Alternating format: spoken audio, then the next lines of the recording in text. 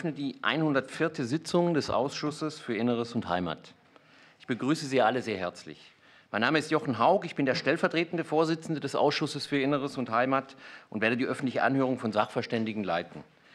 Dies wird erneut eine öffentliche Anhörung des Ausschusses für Inneres und Heimat sein, die zumindest in Teilen als Videokonferenz durchgeführt wird. Ich danke Ihnen, sehr geehrte Sachverständige, dass Sie unserer Einladung auch in Form der Zuschaltung per Videokonferenz nachgekommen sind, um die Fragen der Kolleginnen und Kollegen aus dem Ausschuss für Inneres und Heimat und der mitberatenden Ausschüsse zu beantworten. Zunächst begrüße ich die per Videokonferenz zugeschalteten Sachverständigen. Frau Dr. Uda Bastians, Danke. Herrn Dr. Moritz Karg. Ja, danke schön, bin hier. Dankeschön. Herrn Professor Dirk Heckmann. Hallo, aus Passau. Grüß Gott. Dankeschön. Herrn Professor Eike Richter. Und das ist jetzt, glaube ich, der Sachverständige, der noch nicht zu. Doch. Dankeschön. Und Herrn Gabriel Schulz. Ich bin da. Schönen guten Tag. Super, danke schön. Dann begrüße ich den im Saal anwesenden Sachverständigen, Herrn Rainer Rehag. Hallo, herzlichen Dank. Dankeschön. Die öffentliche Anhörung dient dazu, die Beratung zu der in der Tagesordnung ausgewiesenen Vorlage einschließlich des Änderungsantrages der Koalitionsfraktionen auf Ausschussdrucksache 19.4.587 vorzubereiten. Begrüßen darf ich auch für die Bundesregierung Herrn Ministerialdirigent Ernst Bürger, Abteilungsleiter DV im BMI. Die Sitzung wird zeitversetzt im Parlamentsfernsehen des Deutschen Bundestages und per Stream auf der Homepage des Deutschen Bundestages übertragen. Schriftliche Stellungnahmen hatten wir erbeten. Für die eingegangenen Stellungnahmen bedanke ich mich bei den Sachverständigen. Sie sind an die Mitglieder des Ausschusses für Inneres und Heimat und der mitberatenden Ausschüsse verteilt worden und werden dem Protokoll über diese Sitzung beigefügt. Ich gehe davon aus, dass Ihr Einverständnis zur Durchführung der öffentlichen Anhörung auch die Aufnahme der Stellungnahmen in eine Gesamtdrucksache umfasst. Von der heutigen Anhörung wird für ein Wortprotokoll eine Abschrift der digitalen Aufzeichnung gefertigt. Das Protokoll wird Ihnen zur Korrektur übersandt. Im Anschreiben werden Ihnen Details zur Behandlung mitgeteilt. Die Gesamtdrucksache, bestehend aus Protokoll und schriftlichen Stellungnahmen, wird im Übrigen auch ins Internet eingestellt. Zum zeitlichen Ablauf möchte ich anmerken, dass insgesamt eine Zeit von 13 bis 15 Uhr vorgesehen ist. Einleitend möchte ich jedem Sachverständigen die Gelegenheit geben, in einer Erklärung, die fünf Minuten nicht überschreiten sollte, zum Beratungsgegenstand Stellung zu beziehen. Durch die Zuschaltung per Video ist heute unsere Redeuhr nicht zu sehen. Ich bitte daher die Sachverständigen und auch Sie, liebe Kolleginnen und Kollegen, selbst auf die Einhaltung der Redezeit zu achten. Nach den Eingangsstatements würden wir orientiert an Fraktionsrunden mit der Befragung der Sachverständigen durch die Berichterstatterinnen und Berichterstatter sowie weiterer Abgeordneter beginnen. Ich bitte, dass die Fragesteller diejenigen Sachverständigen ausdrücklich benennen, an die sie die Frage richten wollen. Zu den Frageregeln gilt, in der ersten Fraktionsrunde kann jeder Fragesteller entweder zwei Fragen an einen Sachverständigen, eine gleiche Frage an zwei Sachverständige oder an zwei Sachverständige jeweils eine unterschiedliche Frage richten. Für die zweite Fraktionsrunde würde ich situativ entscheiden, nämlich ob es zeitmäßig noch möglich ist, zwei Fragen an einen Sachverständigen oder eine gleiche Frage an zwei Sachverständige zu stellen oder ob das Zeitfenster es nur noch hergibt, eine Frage an einen Sachverständigen zu stellen. Wenn Sie damit einverstanden sind, würden wir so verfahren. Dankeschön. Noch ein Hinweis. Die per Video zugeschalteten Sachverständigen möchte ich bitten, ihr Mikrofon so lange ausgeschaltet zu lassen, bis sie ihr Statement halten oder Fragen beantworten um Rückkopplungen zu vermeiden. Entsprechend alphabetischer Reihenfolge darf ich dann Frau Dr. Bastians um ihre Eingangsstellungnahme bitten. Ja, ganz herzlichen Dank für die Einladung, meine sehr verehrten Damen und Herren. Ähm, ich möchte mal abstrakt beginnen mit den drei Punkten, die den Städten bei der Verwaltungsdigitalisierung besonders wichtig sind. Und dann kann man das exemplarisch an dem nun vorhandenen äh, Modell auch ein bisschen deutlich machen. Der erste Punkt ist, das Onlinezugangsgesetz springt eigentlich ein bisschen zu kurz. Aus kommunaler Sicht brauchen wir eine vollständige Digitalisierung von Anfang bis zum Ende, sprich vom Antrag des Bürgers bis zum Ende, bis beim Fachverfahren in den Kommunen. Was wir vermeiden müssen, sind jetzt halbe Sachen, die nur dazu führen würden, dass die Potenziale der Digitalisierung letztlich nicht genutzt werden. Es reicht nach unserer Auffassung eben nicht aus, dem Bürger nur einen Zugang über ein digitales Interface zu liefern, aber dann die eingegangenen Daten händisch in ein Fachverfahren einzutragen. Und um auf diesen Gesetzentwurf zurückzukommen, es reicht nicht aus, eine Geburt nur digital anmelden zu können. Es müssen gleich die logisch mitverbundenen Leistungen und Vorgänge abgewickelt werden können, wie zum Beispiel das Kindergeld. Das ist hier ja auch so vorgesehen. Der zweite Punkt, der uns sehr wichtig ist, wir müssen vom Bürger ausdenken und von der Verwaltung ausdenken. Es muss für alle Beteiligten ein Mehrwert sein. Und meine gute Nachricht ist, das ist in der Regel auch der Fall. Das sind nicht zwei in Konkurrenz stehende Ansätze, sondern im besten Fall führen beide Ansätze zu derselben Lösung. Und auch hier ist es ja so. Denn im automatischen Organisieren verschiedener Leistungen, wie sie hier vorgesehen sind, das ist praktisch für die Eltern und effizient für die Verwaltung. Und insofern begrüßen wir ausdrücklich, dass das jetzt zulässig werden soll. Die letzte Hoffnung, die wir mit der Verwaltungsdigitalisierung verbinden, ist Effizienz bei der Wahrnehmung der immer zahlreicheren Aufgaben, die heute in den Kommunen erledigt werden müssen, und zwar vor Ort. Wir brauchen da, glaube ich, neue Wege der Zusammenarbeit und neue Aufgabenteilungen. In der digitalen Verwaltung muss die Kommune nicht immer die erste Anlaufstelle für Bundesaufgaben sein. Und das weist vielleicht über den Gesetzentwurf hinaus. Perspektivisch müssen wir darüber nachdenken, ob die Aufgabenteilung in der digitalen Welt noch so ist, und sein soll, wie sie jetzt in der analogen Welt ist. Ich glaube, der Gesetzentwurf ist ähm, ein Meilenstein bei der Umsetzung des OZG und ein wirklich hervorragendes ähm, Beispiel, wie digitale Verwaltung äh, aufgebaut sein sollte. Wir weisen aber auch darauf hin, das hat jetzt drei Jahre gedauert. Und insofern ist der Zeithorizont des Onlinezugangsgesetzes insgesamt sehr herausfordernd, wenn ich mir die anderen 574 Leistungsbündel angucke, die auch noch digitalisiert werden müssen. Das würde ich fürs Erste bewenden lassen. Dankeschön. Dankeschön. Dann kommen wir nunmehr zur Eingangsstellungnahme von Herrn Professor Dirk Heckmann. Ja, vielen Dank, äh, sehr geehrter Herr Vorsitzender, meine Damen und Herren. Ich möchte zunächst darauf hinweisen, dass ich eine schriftliche Stellungnahme, eine ausführliche Stellungnahme abgegeben habe. Dies allerdings leider kurzfristig erst heute Vormittag, weil die wiederum kurzfristige Einladung zu dieser Anhörung mir kein anderes Zeitfenster erlaubte als das letzte Wochenende. Aber Sie können das natürlich gerne alles im Einzelnen nachlesen. Vorab eben äh, quasi in dieser, diesem Statement sei nur gesagt, dass das Gesetzespaket mit den Regelungen zur Digitalisierung von Familienleistungen, aber auch die allgemeinen Ergänzungen im Änderungsantrag zum E-Government-Recht sehr zu begrüßen sind. Da möchte ich mich meiner Vorrednerin auch ausdrücklich anschließen.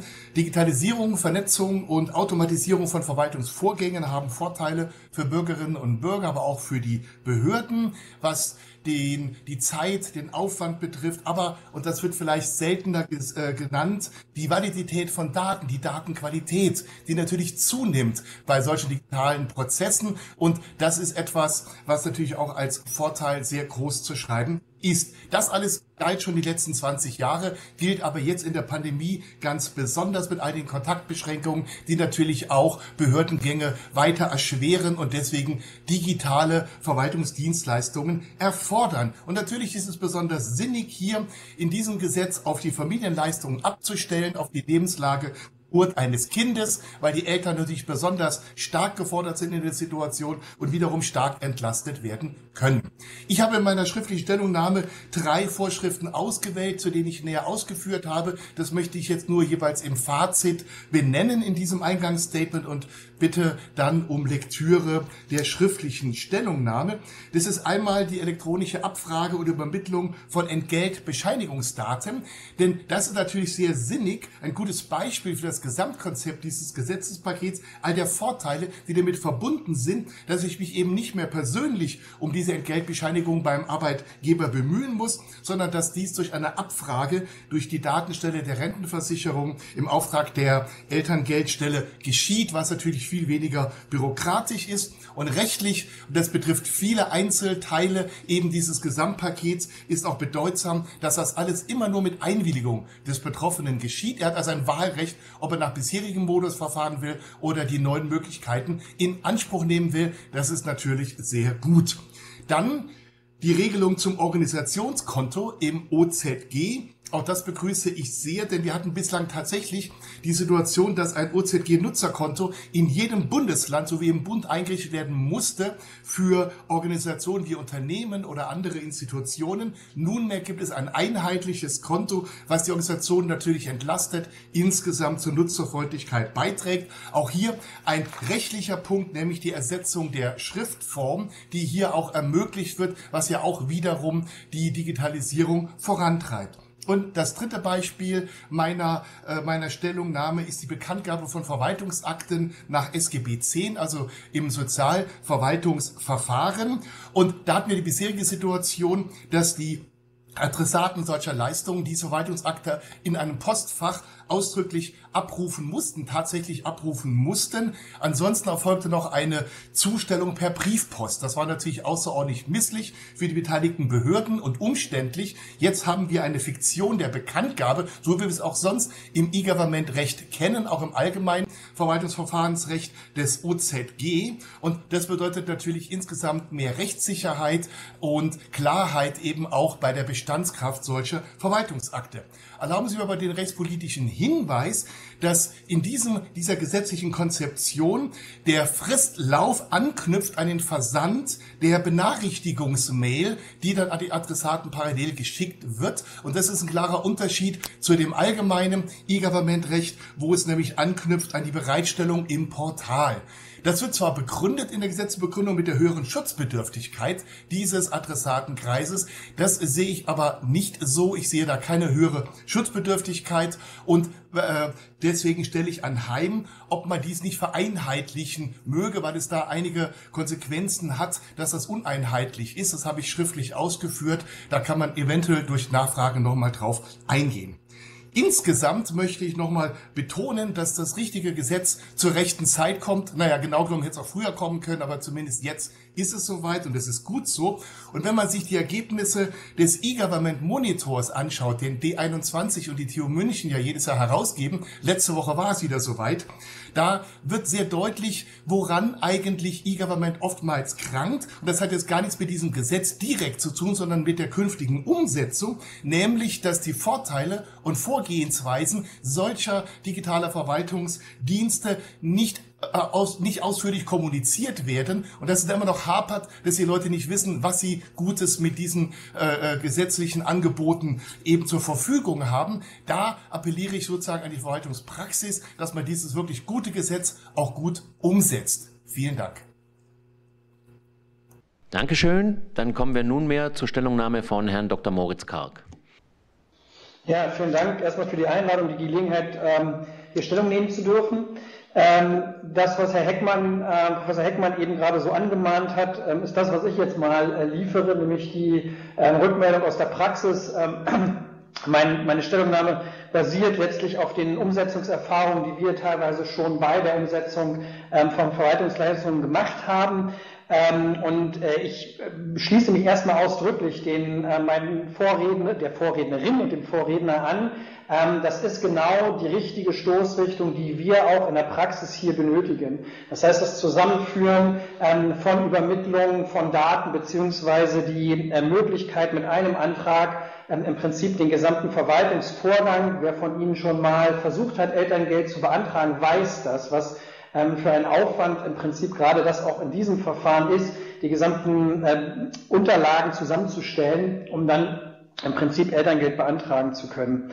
Ähm, insofern unterstütze ich ausdrücklich ähm, den, die positive Grundstimmung, ähm, die hier auch schon vermittelt wurde. Ähm, ich weise darauf hin, auch meine äh, Stellungnahme liegt schriftlich vor, deswegen werde ich mich nur ganz kurz auf drei ähm, Punkte ähm, beziehen. Erstens, wenn Sie den Zweck des Gesetzes Verwaltungsvereinfachung, ähm, Nutzerfreundlichkeit, auch Verwaltungsvereinfachung auf Seiten der Kolleginnen und Kollegen in den Behörden ernst nehmen, dann empfehle ich dringend, ähm, nicht die Einwilligungs-, das Einwilligungserfordernis aufrechtzuerhalten. Ich möchte auch erklären, warum. Ähm, aus datenschutzrechtlicher Sicht haben Sie zwei Möglichkeiten, eine Übermittlung zu legitimieren. Ein, entweder mit der Einwilligung oder mit einer klaren, transparenten und eng auf den Zweck bezogenen ähm, Rechtsgrundlagen. Das, was wir jetzt haben, wird im Ergebnis dazu führen, dass die, diejenigen, die Elterngeld beantragen, nicht nur diesen Antrag stellen müssen, sondern, und das ist das, was wir in der Praxis durchaus ernst nehmen, wenn dort eine Einwilligung gefordert wird, dann setzen wir diese technisch auch um.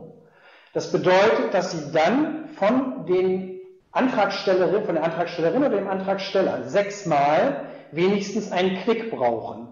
Denn jede datenübermittelnde Stelle muss diese, diese Information bekommen, muss sie übrigens auch technisch vorhalten und managen. Das heißt, dass im Programmieren, in der Umsetzung dieser Verwaltungsleistung jede der beteiligten Stellen eine eigene Einwilligungs-, nicht Erklärung, aber zumindest das Signal, dass die betroffene Person nicht nur den Antrag gestellt hat, sondern auch die Einwilligung erteilt hat, vorhalten muss, inklusive das weitere Vorhalten für die Zukunft, wenn die betroffene bzw. die Antragstellerin oder der Antragsteller, also betroffene Person, diese Einwilligung zurückziehen sollte, also den Widerspruch gegen die ursprüngliche Übermittlung ähm, einlegt. Zweitens, ich würde Ihnen empfehlen, die Freiwilligkeit der Nutzung des Nutzerkontos und des Postfachs, die momentan explizit in dem Änderungsantrag erwähnt worden sind, zurückzunehmen. Warum? Grundsätzlich, Paragraph 1 des Onlinezugangsgesetzes sieht ohnehin vor, dass es zwei parallele Wege der Beantragung oder der Inanspruchnahme von Verwaltungsleistungen gibt. Das wird durch den Begriff, der das Wort auch im Paragraph 1 Absatz 1 deutlich gemacht. Das heißt, Sie haben ohnehin die Möglichkeit, entweder digital oder eben auf dem klassischen Papier basiert die Verwaltungsleistung zu nutzen. Das, was Sie jetzt da reinschreiben, würde in der Praxis bedeuten, dass ich nicht nur das Fachverfahren, was ich digitalisiere, mit einer eigenen technischen Lösung ausstatten muss, dass sich die Personen dort authentifizieren bzw. identifizieren und auch den Rückkanal müsste ich dann in jedes einzelne Fachverfahren hinein programmieren oder Sie verzichten auf den, wie Frau Bastian vollkommen richtig gesagt hat, die vollständige digitale Abbildung des Verwaltungsvorgangs. Oder Sie lassen schlicht und ergreifend diese Freiwilligkeitsanforderung weg. Das heißt, dass am Ende des Tages, wenn ich mich entscheide, eine Verwaltungsleistung digital zu nutzen, dass ich dann in der Tat aber über das Nutzerkonto bzw. das Postfach gehen muss, um dann auch für die Verwaltung einen vollständig digitalen Prozess zu können. Ansonsten haben Sie den Medienbruch, ich kriege die digitale Antragstellung, aber der Bescheid geht dann trotzdem in Papier raus. Und das letzte, der letzte Punkt, ich stimme mit Herrn Heckmann nicht, Professor Heckmann, Entschuldigung, nicht überein, dass eine Regelung, eine Verfahrensregelung, wie jetzt der vorgesehene Paragraph 9 im OZG aufgenommen werden wird. Wir werden da in der Praxis schlicht und ergreifend die Abgrenzungsschwierigkeiten haben. Deswegen empfehle ich diese Regelung explizit in das Verwaltungsverfahrensgesetz zu übernehmen und dort eine eigene Regelung zu schaffen, um die, den Charakter des Onlinezugangsgesetzes als ein Ermöglichungsgesetz weiterzubehalten und die Verfahrensregeln dort zu regeln, wo sie auch hingehören, ins Verwaltungsverfahrensgesetz. Dankeschön. Dann kommen wir nunmehr zur Stellungnahme von Herrn Rainer Rehag. Entschuldigung, kann man mich hören? Ja. Hier ist Professor Richter. Ich habe vorhin eigentlich äh, mich gemeldet, aber da hatten Sie auch Ja gesagt. Ich weiß jetzt nicht genau. Soll ich mich hinten anschließen? Sie, Sie sind direkt der Nächste, nach Herrn Rehag. Ach, Wir machen die Eingangsstellung Ach, Entschuldigung. in Oh, Entschuldigung. Reihenfolge. Entschuldigung. Alles klar. Okay. Dann ähm, herzlichen Dank für die Möglichkeit der Stellungnahme. Auch ähm, äh, von uns ist äh, die schriftliche Stellungnahme auf dem Weg. Deswegen gibt es jetzt hier eher so einen äh, kleinen Überblick.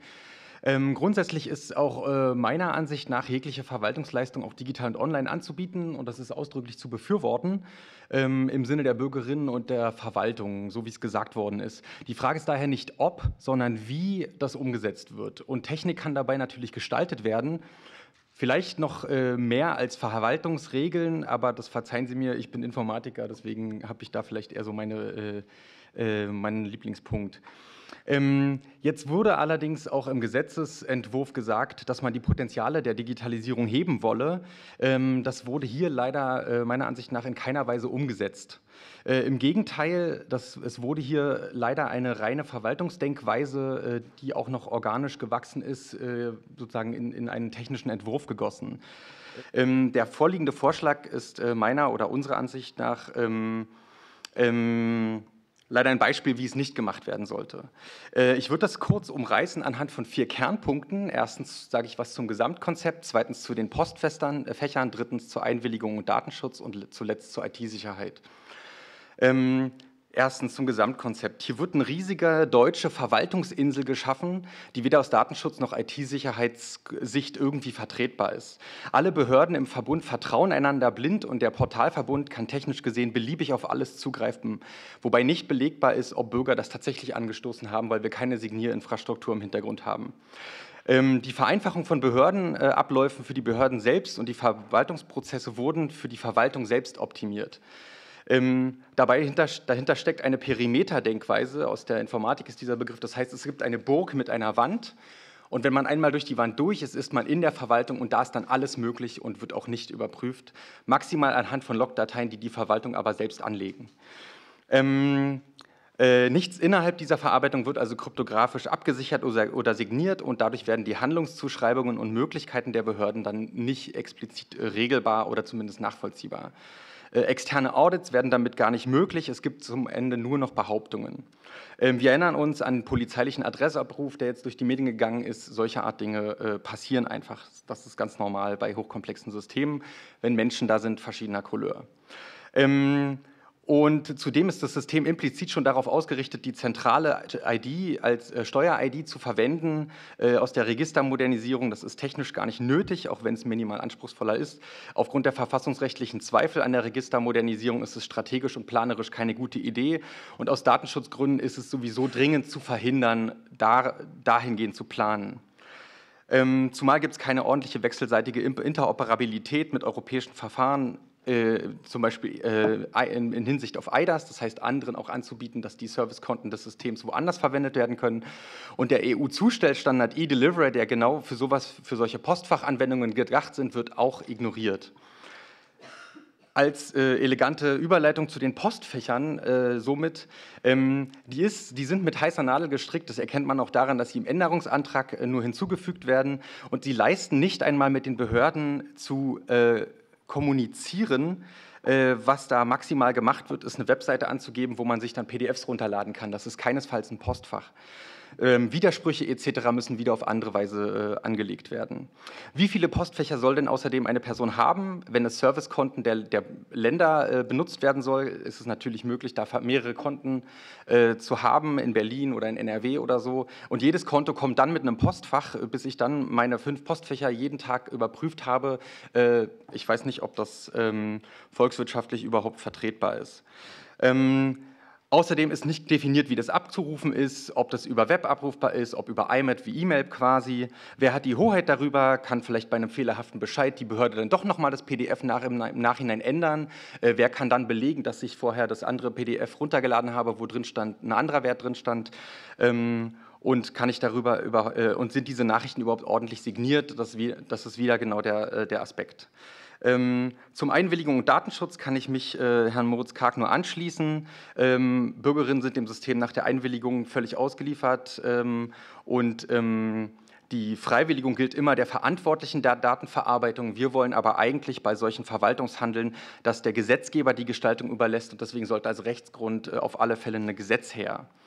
Ähm, ähm, die die Bürgerinnen und Bürger sollten zudem zwischendurch über den Verlauf irgendwie informiert werden, Transparenz und Intervenierbarkeit genießen, das heißt, bei Fehlern auch einschreiten zu können. Ähm, und dadurch echte Kontrolle über diese Verfahren haben. Daran erkennt man, dass das ein Verwaltungsverfahren ist, was abgebildet worden ist, wo die Bürger zwischendurch natürlich auch nichts tun können. Das wäre ein Punkt, wo die Digitalisierung tatsächlich helfen konnte, äh, sowas wie digitale Souveränität herzustellen. Ähm, die wird aber sowohl weder auf Daten, auf System und auf Prozessebene gewährleistet. Äh, den letzten Punkt äh, lasse ich einfach aus Zeitgründen weg. Sie können aber gerne zu all den Punkten im Fragebereich Fragen stellen, denn im Rahmen kann man da schon Vorschläge machen, wie man das richtig und gut machen konnte und sollte, unserer Meinung nach. Dankeschön. Dankeschön. Dann kommen wir nunmehr zur Stellungnahme von Professor Eike Richter. Ja, sehr geehrter Herr Vorsitzender, sehr geehrte Abgeordnete, äh, nochmal vielen Dank und äh, entschuldigen Sie meine Intervention eben, aber ich war einfach im Buchstaben verrutscht. Ähm, ja, vielen Dank auch für die Möglichkeit, hier Stellung zu nehmen. Ich habe das äh, bisher keine schriftliche Stellungnahme abgegeben, reiche die aber noch gerne nach. Ich habe deswegen ein paar Folien äh, aufgelegt, nur wenige, äh, die ich jetzt einfach einspielen würde, wenn das funktioniert. Ansonsten bitte sagen Sie Bescheid äh, und würde da entlang gehen, dass Sie ein bisschen was äh, verfolgen können. Also ähm, Allgemeines kann ich mich im Grunde zu den Vorrednern einigermaßen anschließen. Insbesondere Frau Bastian kann ich nur zusprechen. Es braucht eine ganzheitliche Digitalisierung. Und der Entwurf jetzt enthält ja doch grundlegende Änderungen fürs Verwaltungsverfahren insgesamt, so wie ich die Sache überblicke, und nicht nur zu dem Ausgangsgegenstand der Familienleistungen. Und ähm, wir haben mittlerweile seit Jahren auch schon immer weiter gepflegt verschiedene Regelungswerke, wo allgemeines Verwaltungsrecht, Verwaltungsverfahrensrecht äh, geregelt wird. Die Landesverwaltungsverfahrensgesetze des Bund und das Bundverwaltungsverfahrensgesetz, die E-Government-Gesetze äh, und das OZG. Also es wäre in der Tat äh, eigentlich vorzugswürdig, eine integrierende Reform des allgemeinen Verwaltungsverfahrensrechts unter Digitalisierung durchzuführen, weil, das sieht man auch jetzt bei dem vorliegenden Entwurf, es äh, einfach immer wieder Risiken entstehen, dass Inkonsistenzen und Regelungswidersprüche entstehen, die die Umsetzung gerade erschweren. Äh, dennoch äh, möchte ich den Entwurf unterstützen, weil es darum geht, tatsächlich die Chancen, die Möglichkeiten der Digitalisierung äh, einfach für die Verwaltung mal stärker zu nutzen. Also ja, ich würde mir auch wünschen, wir wären da schon viel, viel weiter, aber man muss es auch im Verhältnis sehen, wo wir herkommen und wo wir bisher auch die Schwierigkeiten hatten. So gesehen würde ich das weiterhin unterstützen, diesen Entwurf, weil er nochmal in die richtige Richtung geht. Ich habe jetzt Einzelanmerkungen zu den Änderungen, insbesondere des OZGs. Darauf habe ich mich konzentriert, weil ich dort äh, etwas beisteuern kann. Und das wäre einmal die Einführung der Behörde als Nutzerin. Das ist insoweit konsequent. Was nicht konsequent ist, ist in dem Entwurf, dass jetzt auf einmal in Orientierung an das Verwaltungsverfahren im Verwaltungsverfahrensgesetz, und da sieht man wieder eine Form von Inkonsistenz, der die abstrakte Begriffsbestimmung verloren gegangen ist, nämlich ursprünglich waren die Nutzer nur diejenigen, die Nutzer im Sinne des UZGs, die die Verwaltungsleistungen in Anspruch nehmen. Das ist jetzt eigentlich nicht mehr der Fall. Ähm, das äh, verwechselt aber den Punkt, dass gerade Behörden ja einmal natürlich und regelmäßig als verfahrensleitende Stelle äh, in, in den Blick kommen, aber natürlich auch selbst äh, Adressaten von Verwaltungsleistungen sein können. Da müsste man also klar bleiben, gerade im Verhältnis zum allgemeinen Verwaltungsverfahrensrecht. Die Einführung des Organisationskontos, ist schon gesagt worden, möchte ich auch begrüßen. Es ist eine sinnvolle Sache, das zu differenzieren.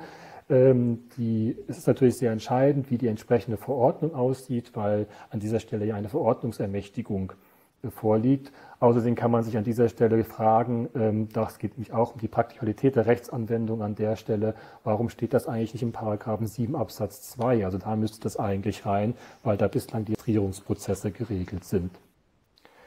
Der nächste Punkt ist ein wichtiger Punkt, der nämlich umsetzt äh, die, eine Rechtsgrundlage für die Interoperabilität und äh, der Postfächer. Das ist das, was mein Vorredner schon angesprochen hat. Es soll ja gerade nicht fünf verschiedene Postfächer geben, sondern eben eine Interoperabilität zwischen den Postfächern. Und da geht es eben darum, wie kann man eigentlich die Daten austauschen im Sinne des europäischen Once-Only-Prinzips. Da war bislang die Rechtsgrundlage unklar im OZG. So gesehen ist es wichtig, dort eine Rechtsgrundlage zu schaffen, die basiert natürlich eigentlich nur auf Einwilligung. Das ist natürlich äh, sehr anspruchsvoll, weil der Bürger tatsächlich mit der Einwilligung darauf äh, zu, ähm, also sozusagen zulässt, dass die Daten dann regelmäßig zwischen den verschiedenen Stellen ausgetauscht wird. Ähm, gegebenenfalls müsste man überlegen, ob man dann auf die Informationspflichten explizit nochmal hinweist. So macht es nämlich das Datenschutzrecht äh, auf europäischer Ebene, dass eben in dem Fall, wenn keine Direkterhebung mehr bei Daten beim Bürger erfolgt, sondern ein zwischenstellenmäßiger Austausch von vorhandenen Daten erfolgt, dass dann besonders die Transparenz gestärkt wird. Ähm, die Elster-Software-Zertifikate, Einführung ist ein nächster Punkt, der in, der, ähm, in dem Entwurf ähm, angesetzt wird. Ähm, Im Grunde gibt es, ist das auch zu begrüßen. Es geht ja darum, die juristischen Personen, also Unternehmen sozusagen als der Netzidentität überhaupt sichtbar werden zu lassen, weil dort der Einsatz äh, von Identifikationsmitteln wie zum Beispiel ein Personalausweis nur bedingt möglich ist, weil der ja auf natürliche Personen zugeschnitten ist. Ich äh, kann, natürlich ist das eine Ver Verbindung zweier eigentlich sonst getrennter Verfahren, nämlich einmal das Steuerverfahren und einmal das allgemeine Verwaltungsverfahren. Ähm, allerdings äh, ist zumindest dann die Daten, die ausgetauscht werden, ist nach meiner Lesart des Entwurfs die Steueridentifikationsnummer nicht erfasst. Also das hat auch eine wichtige Komponente zum Registermodernisierungsgesetz. Also diese Zusammenlegung dieses zentralen Merkmals der Identifikation, nämlich die Steueridentifikationsnummer, ist bewusst ausgelassen worden. Das ist auch sinnvoll aus datenschutzrechtlichen Gründen. Dann zum letzten Punkt, der, glaube ich, sehr wichtig ist und woran man sehen kann, dass es eigentlich um eine Vorschrift, um eine Sache geht, die das allgemeine Verwaltungsrecht betrifft, die Bekanntgabefiktion, die schon angesprochen worden ist. Wichtig ist, diese Bekanntgabefiktion hier ist eigentlich nur für den besonderen Fall der Nutzung eines Postfachs im UZG geregelt. Es gibt eine allgemeine Regelung im Verwaltungsverfahrensgesetz für den Abruf von öffentlichen Netzen. Ähm, und da sieht man schon wieder mehrere Regelungen, die man dann, wo man sich die Frage stellen könnte, welche gilt eigentlich bei den einzelnen Verwaltungsverfahren, so zahlreich wie sie ja sind. Das ist immer eine Gefahr von Rechtskollision, zumal eine solche Bekanntgabefiktion ein Rechtsanwender eben nicht im OZG erwartet, sondern eigentlich im Verwaltungsverfahrensrecht. Moritz Karg hat das eben schon zu Recht hingewiesen, da gehört die Regel eigentlich auch rein. Und dann noch die letzte Komponente dazu, die Verantwortungs-, also diese Bekanntgabefiktion, die setzt ja darauf an, äh, dass der Bürger regelmäßig, äh, und zwar mit der Bereitstellung zum Abruf, im Grunde die Gefahr auf ihn übergegangen ist, nämlich, dass er das tatsächlich zur Kenntnis nimmt und dann damit auch agieren kann. Man muss sich also vorstellen, dass in dem Moment eigentlich Fristen gelaufen zu Beginn, nämlich Rechtsbehelfsfristen, eigentlich auch die Vollstreckbarkeit eines Verwaltungsaktes äh, ausgelöst wird.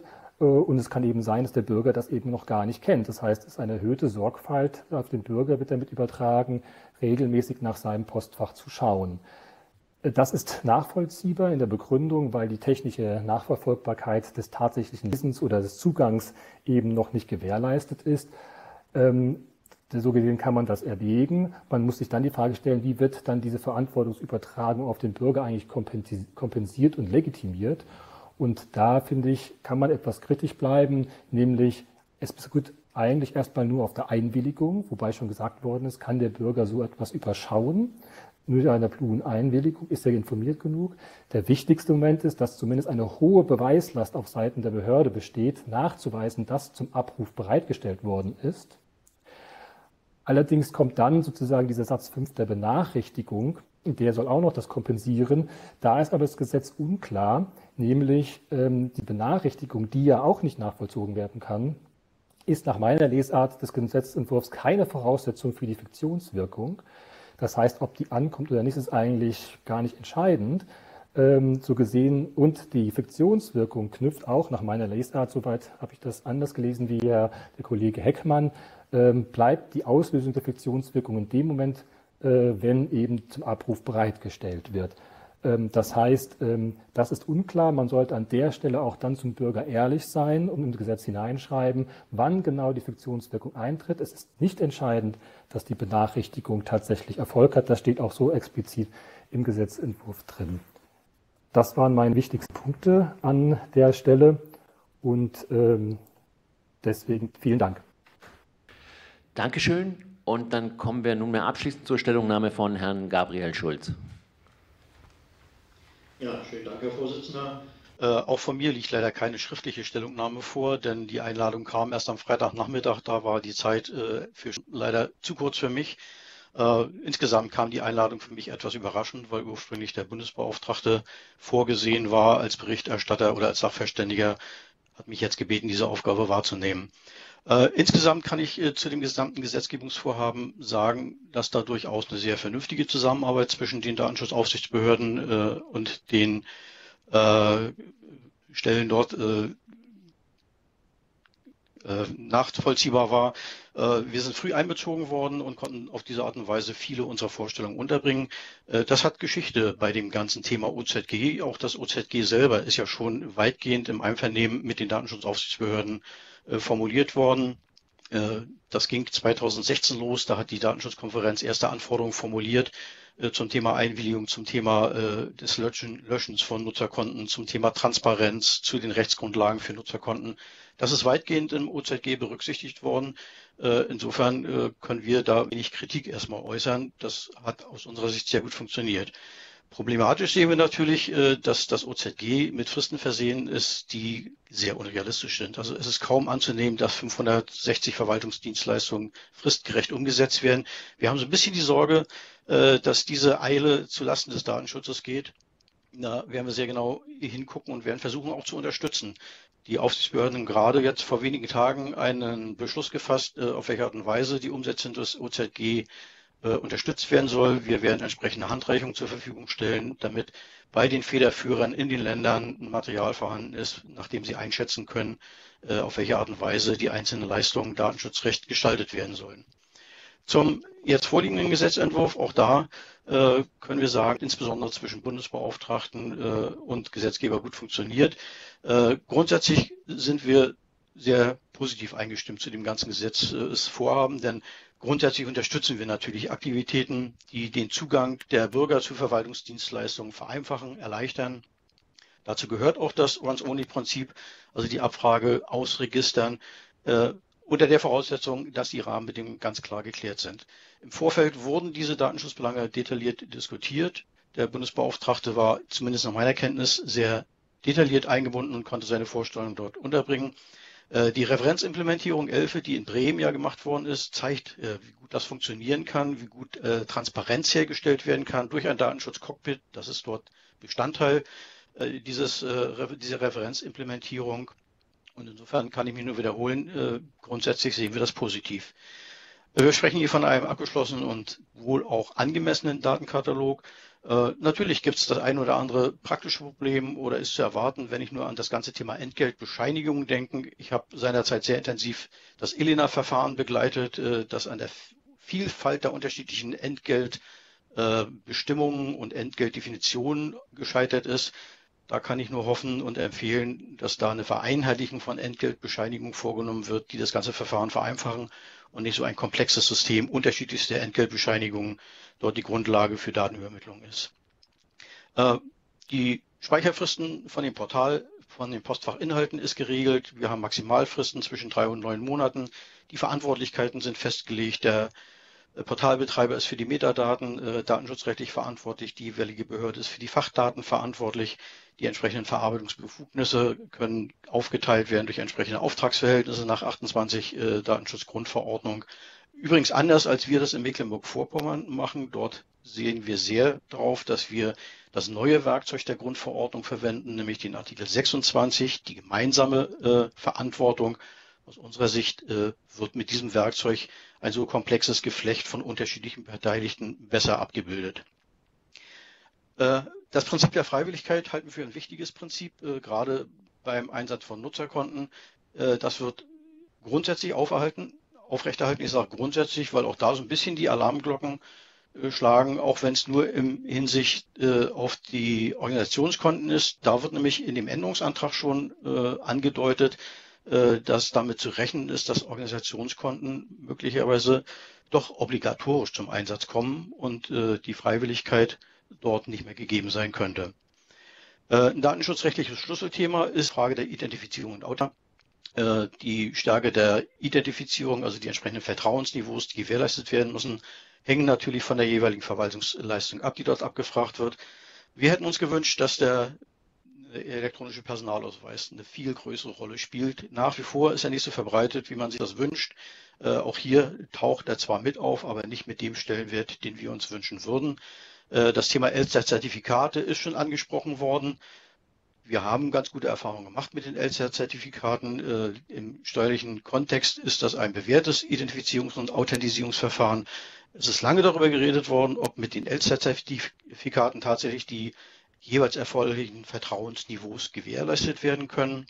Äh, nach meiner Kenntnis ist das BSI dort einbezogen worden, das Bundesamt für Sicherheit in der Informationstechnik, äh, und hat äh, wohl mehr oder weniger grünes Licht gegeben, sodass mit diesem Zertifikat zumindest vorübergehend, ich glaube bis 2023, das Vertrauensniveau substanziell gewährleistet werden kann.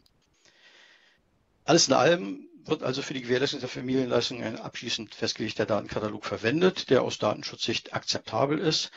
Äh, wie gesagt, es wäre zu begrüßen, wenn die EID-Funktionen dort eine breitere Anwendung finden.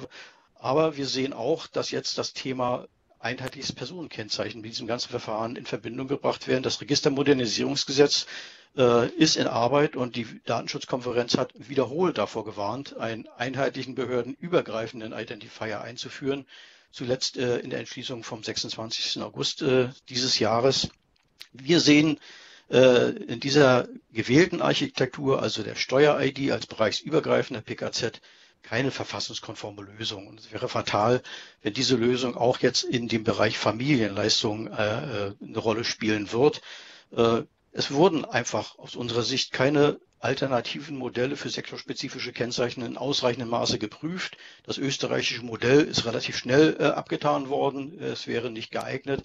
Äh, das halten wir für falsch. Da hätte man mehr äh, Zeit investieren müssen, um entsprechende Modelle zu prüfen, die zu sektorspezifischen Identifiern führen.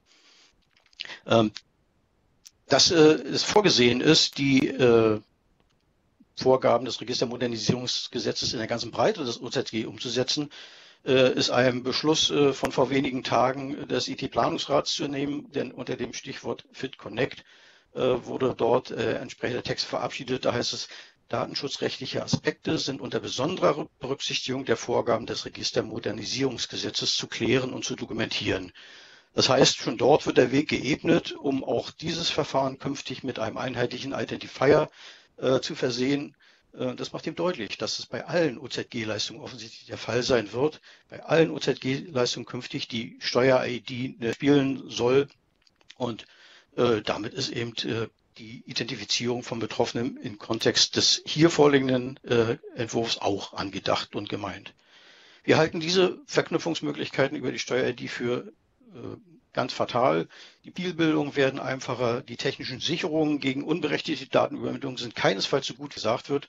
Das Stichwort Four-Corner-Modell, das äh, nur über sechs äh, Verwaltungsbereiche hinweg angewendet wird, zeigt, dass viele Datenübermittlungen dort nicht äh, so geprüft werden technisch, wie sich das die Erfinder mal vorgestellt haben. Und gerade im Bereich der Familienleistung wäre das aus meiner Sicht ein falsches Signal, äh, eine zentrale ID dort auch einzu, äh, anzuwenden.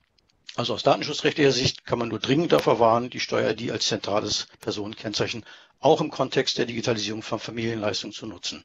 Das soll es bis jetzt gewesen sein. Vielen Dank. Dankeschön. Dann kommen wir direkt zur ersten Fragerunde, beginnen bei der CDU-CSU-Fraktion und Herrn Müller. Die reduziert sich jetzt auf einen Teilnehmer und damit auch auf eine Frage. Eine Frage an den Herrn Professor Dr. Heckmann. Ähm, die Stellungnahme des Bundesrates kritisiert den Regierungsentwurf an einem Punkt und äh, dabei an dem Punkt, wenn es um die Übermittlung von Personenstandsdaten geht. Der Bundesrat ist der Auffassung, dass ähm, die direkte Abfrage bei den Melderegistern die bessere Lösung wäre. Und die Bundesregierung stellt sich auf den Standpunkt, es geht auch anders, es geht auch dadurch oder es erledigt sich auch dadurch, dass man den, äh, äh den äh, Standesämtern bzw. den Meldeämtern die Verpflichtung auferlegt, äh, den Kreis der Empfänger von Meldungen eben um die Elterngeldstelle zu erweitern. Welche, welche Auffassung haben Sie? Welches wäre die bessere Lösung? Dankeschön. Dankeschön. Keine Frage bei AfD. Wir kommen direkt zur SPD-Fraktion und Frau Kaiser. Ja, vielen Dank äh, auch für die Ausführungen. Ich freue mich auch sehr, dass von den meisten Berichterstatterinnen und Berichterstattern heute das äh, Gesetz im Grunde nach als effizient für die Verwaltung und auch bürgerfreundlich angesehen wird. Meine zwei Fragen richten sich an den Berichterstatter Dr. Karg. Und ich würde gerne wissen, dass Sie hervorgehoben haben, die Streichung des Einwilligungserfordernisses für die Übermittlung ähm, personenbezogener Daten vorzuziehen und wollte nachfragen, welche genauen Vorteile Sie darin erkennen und äh, ist es denn sinnvoll, hier einen Sonderweg einzuschlagen, weil das OZG ja auch weiterhin Einwilligungserfordernisse ähm, vorsieht. Wäre das dann ähm, nicht auch Anlass, komplett nochmal die Systematik des OZG zu betrachten? Dankeschön. Wir kommen zur FDP-Fraktion und Herrn Höferlin. Vielen Dank.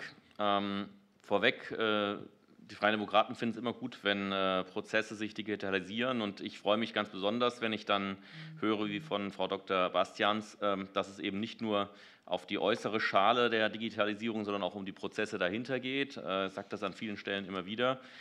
Ähm, die Sachverständigen waren jetzt hier ein bisschen zu höflich, um es deutlich zu sagen. Das, was wir ähm, hier vorgelegt bekommen, worüber wir heute reden, äh, ist ja ein Gesetzentwurf mit einem Änderungsantrag. Der Gesetzentwurf hatte 44 Seiten, der Änderungsantrag dann 22 Seiten. Eigentlich geht es hier im Kern am Ende um ein OZG-Änderungsgesetz und nicht mehr um ein Gesetz zur Digitalisierung von Familienleistungen, weil durch den Änderungsantrag äh, massiv Veränderungen im, im OZG vorgenommen werden. Das ist, muss man vorweg zu sagen, parlamentarisch kein guter Move der Regierung gewesen. Dafür hätte es eigentlich auch Gründe genug gegeben, mal ein eigenes Gesetz zu machen und ein komplettes parlamentarisches Verfahren über diese wichtigen Änderungen zu machen und das nicht Huckepack äh, auf Familienleistungen draufzuhängen. Ähm, grundsätzlich äh, habe ich zwei Fragen an Professor Richter. Äh, Im Gesetzentwurf äh, steht jetzt, dass ein Organisationskonto, ein Nutzerkonto, das juristischen Personenvereinigungen denen ein Recht zustehen kann, natürlichen Personen, die gewerblich und berufstätig sind und Behörden zur Verfügung steht. Diese Formulierung soll jetzt ins OZG eingefügt werden. Halten Sie es für ausreichend, das so zu machen, um die komplexen Fragestellungen, die sich an ein Organisationskonto hängen, zu regeln? Äh, zumal dann ja auch äh, viele Dinge ähm, in die Verordnung geschoben werden. Oder hätte man da nicht mehr äh, bei dem OZG machen können und müssen? Und haben Sie da Ideen zu? Und die zweite Frage, ähm, äh, es zeichnet sich ja ab, Sie haben dazu auch schon was gesagt, dass in der Beschleunigung der Verwaltungsmodernisierung jetzt auch auf altbekannte Verfahren zurückgegriffen wird. Ich erinnere mich noch, vor zehn Jahren haben wir schon darüber gesprochen, mit welchen äh, Methoden man Verwaltungsmodernisierung vorantreibt.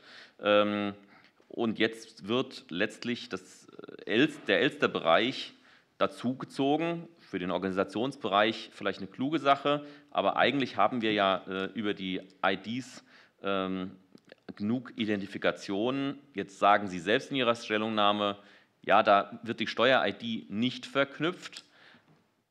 Aber letztlich werden zwei Verfahren zusammengebunden und eines davon, nämlich das Elster-Verfahren, ist eigentlich darauf ausgelegt, äh, mit Steuer-IDs am Ende zu arbeiten. Ist es nicht eine Frage der Zeit und wie groß sehen Sie da die Gefahr, dass man das später im weiteren Verlauf der OCG, der, des OZG, der Registermodernisierung zusammenpackt und diesen Identifier eben dann doch dazu fügt? Und gibt es nicht auch andere Alternativen dazu?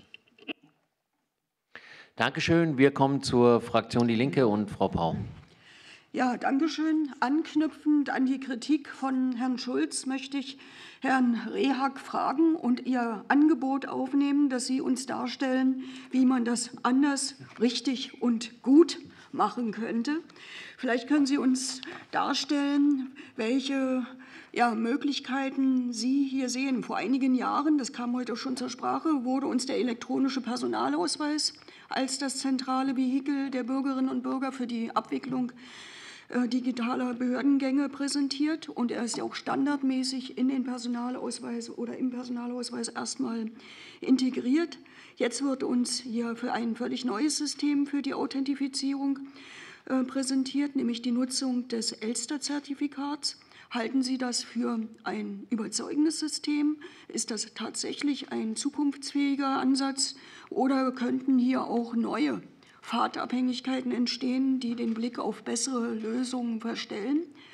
Und zweitens, welche alternativen Identifizierungsverfahren sind denkbar, die vielleicht sogar sicherer und auch skalierbar sind und gegenüber dem elektronischen Personalausweis oder eben dem Elster-Zertifikat noch Vorteile bieten?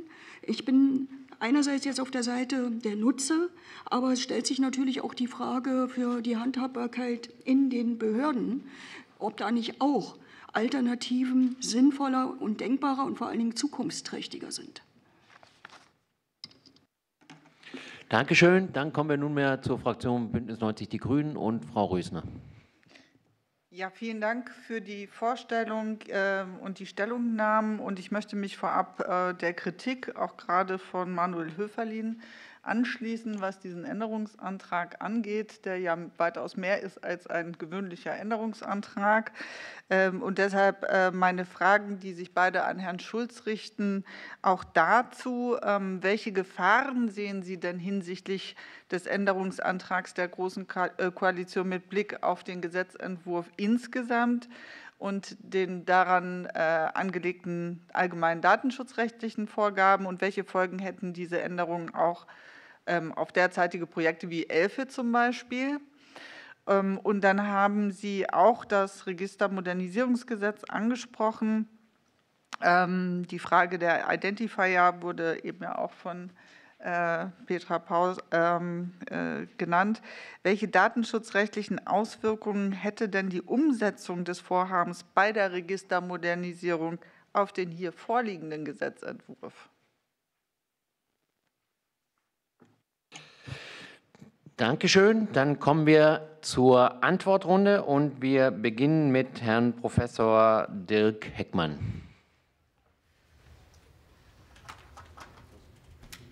Ja, vielen Dank äh, für die Frage von Herrn Müller. Ähm, ich spreche allerdings einen Bereich an, mit dem ich mich jetzt nicht vertieft befasst habe, weil es einfach ein sehr komplexes Gesetzespaket war und ich habe mir die Dinge rausgesucht, die aus meiner Sicht besonders interessant auch zu kommentieren sind, auch aus wissenschaftlicher Sicht. Und das, was Sie ansprechen, eben die Frage, äh, wie bestimmte Daten übermittelt werden, eben durch eine aktive Übermittlung seitens beispielsweise der Standesämter oder durch einen passiv geprägten Abruf aus den Melderegistern, war für mich ehrlich gesagt keine besonders rechtlich spannende Frage, weil es einfach äh, mehr darum geht, äh, in der Praxis eben zu schauen, was ist pragmatisch sinnvoll, was ist technisch gut umsetzbar und was passt in das Gesamtkonzept am besten hinein. Und aus rechtlicher Sicht möchte ich anführen, das sind einfach zwei parallele Gestaltungsmöglichkeiten, ob ich das durch Übermittlung mache oder durch Abrufe mache. Und da kann ich jetzt keine Expertise beisteuern, eben als, als äh, Staatsrechtler und Verwaltungsrechtler, ähm, was da sozusagen der, der bessere Weg auch in technischer und organisatorischer Hinsicht ist. Rechtlich sind sie äh, praktisch gleichwertig und da gibt es sicherlich auch einen Gestaltungsspielraum äh, des Gesetzgebers, äh, welchem Modell er folgen mag. Und so gesehen ähm, sehe ich das auch nicht in dem Sinne als, als oder habe ich, hab ich jetzt nicht wahrgenommen als besondere Kritik des Bundesrates, eben auch etwa in verfassungsrechtlicher Hinsicht, sondern eher als ein Prüfauftrag, eine Empfehlung. Man könnte es auch alternativ überlegen, das ist das gute, gute Recht natürlich auch, äh, aus Sicht der Länder so etwas zu prüfen. Da stelle ich anheim, ob man das auch im weiteren Gesetzgebungsverfahren weiter verfolgt und die Vor- und Nachteile der jeweiligen eruiert. Äh, da wird es mit Sicherheit auch Expertise von anderer Stelle geben. Ich selber sehe da jedenfalls rechtlich jetzt keine Probleme, ob man das ein oder andere Verfahren wählt. Vielen Dank. Dankeschön. Wir kommen zur Antwort von Herrn Dr. Moritz Karg. Ja, vielen Dank. Ähm, ich erlaube mir das kurz mal zu erläutern, dass ich äh, zwölf Jahre lang Kollege von Gabriel Schulz war. Das heißt, aus meiner praktischen Erfahrung heraus ist die Einwilligung so ziemlich das Schlechteste, was man ähm, auf Dat aus datenschutzrechtlicher Sicht nutzen kann, vor allen Dingen im staatlichen Bereich. Wir haben es hier ähm, mit einer Übermittlung, einer sehr komplexen Übermittlungslage zu tun. Ich bezweifle, und da gibt es auch entsprechende Rechtsprechung, die ich auch davon mal zitiert habe, im Sozialbereich haben wir ähm, einerseits die Schwierigkeit, dass die Betroffenen, die antragstellenden Personen ähm, diese Komplexität der Übermittlung ähm, im Prinzip gar nicht überblicken können, Nummer eins. Nummer zwei, man muss sich die Frage stellen, das ist die Bedingung für eine Einwilligung, liegt überhaupt Freiwilligkeit vor in diesem Bereich? Es geht ja hier ähm, im Prinzip um eine Sozialleistung, da stellt sich schon die Frage, sind im klassischen Sinne frei zu entscheiden? Ich zum Beispiel war damals nicht frei. Ähm, ich habe mich mit meiner Frau entschieden, dass wir 50-50 machen ähm, und ich brauchte das Geld. So, insofern war, stellte sich für mich gar nicht die Frage, ob ich eine Einwilligung erteile oder äh, theoretisch. Damals ging das ja gar nicht, ich habe es ja per Papier gemacht, aber aber ich hatte nicht die Freiheit zu entscheiden, ähm, brauche ich das Geld oder brauche ich es nicht. Ich benötigte es. Also hätte ich alles angeklickt. Ähm, das heißt, das ist sozusagen die Seite der Betroffenen bzw. der Antragstellerin und der Antragsteller. Jetzt betrachten Sie, wir können es genauso auf der anderen Seite machen für die Behörden. Wir hier jedenfalls und ich in meinem Referat, wir nehmen das ernst. Wenn dort eine Einwilligung gefordert wird, dann programmieren wir das rein. Das bedeutet aber, und das können Sie sich jetzt mal aufmalen, nach dem Doppeltürmodell des Bundesverfassungsgerichts müssen Sie eine Einwilligung auf der Seite derjenigen Stelle haben, die jetzt schiebt oder Pull, das ist jetzt egal, also die nehmen wir mal das Standesamt und Sie brauchen auf der Elterngeldstelle diese Einwilligung. Das heißt, Sie müssen, beziehungsweise die Betroffenen müssen sowohl dem Standesamt als auch der Elterngeldstelle jeweils eine Einwilligung erteilen. Und die Elterngeldstelle bzw. das Standesamt muss vorhalten, also auch mitführen, sind tatsächlich diese beiden Einwilligungen erteilt worden. Wenn Sie jetzt durch den Gesetzesentwurf gehen, stellen Sie fest, Sie haben da sechs Einwilligungen. Ich habe es jetzt nur ganz grob gezählt. Ich habe jetzt nicht so viel Zeit. Ich glaube, es sind mehr. Aber lassen Sie es bleiben bei den sechs übrig. Da bleiben sechs Einwilligungen übrig. Das heißt, das skaliert nicht so, also das skaliert nach oben. Und das müssen Sie jeweils natürlich mit eigenen, weil wir wollen es ja nicht per Papier haben, weil das wäre jetzt komplett abstrus. Ich stelle sozusagen meinen Antrag in meiner App und muss dann nebenbei ähm, Häkchen machen auf Papier. Das wollen wir nicht. Das heißt, Sie programmieren es in den Antrag rein und diese Signale müssen Sie dann parallel in den Fachverfahren der Behörden mitführen. Weil das muss ja sozusagen, die verantwortlichen Stellen müssen das ja, müssen das ja nachhalten. Und sie müssen es auch immer wieder weiter pflegen, zumindest für die Dauer des Verfahrens. So, das heißt, wir haben sowohl auf Seiten derjenigen, die den Antrag stellen, Seiten der Behörden zusätzlichen Aufwand, der, und das übrigens, davon bin ich fest überzeugt, mit einer sauberen und vor allem engen Zweckbindung auf diese einzelnen Übermittlungsvorschriften deutlich stabiler ist. Eine Einwilligung, und ich habe das Problem gerade durch bei den Nutzerkonten, eine Einwilligung ist jederzeit änderbar und obliegt dann auch den einzelnen Behörden, wie sie sie gestalten. Ob das dann immer und jederzeit rechtssicher ist, da habe ich offen gestanden meine Zweifel.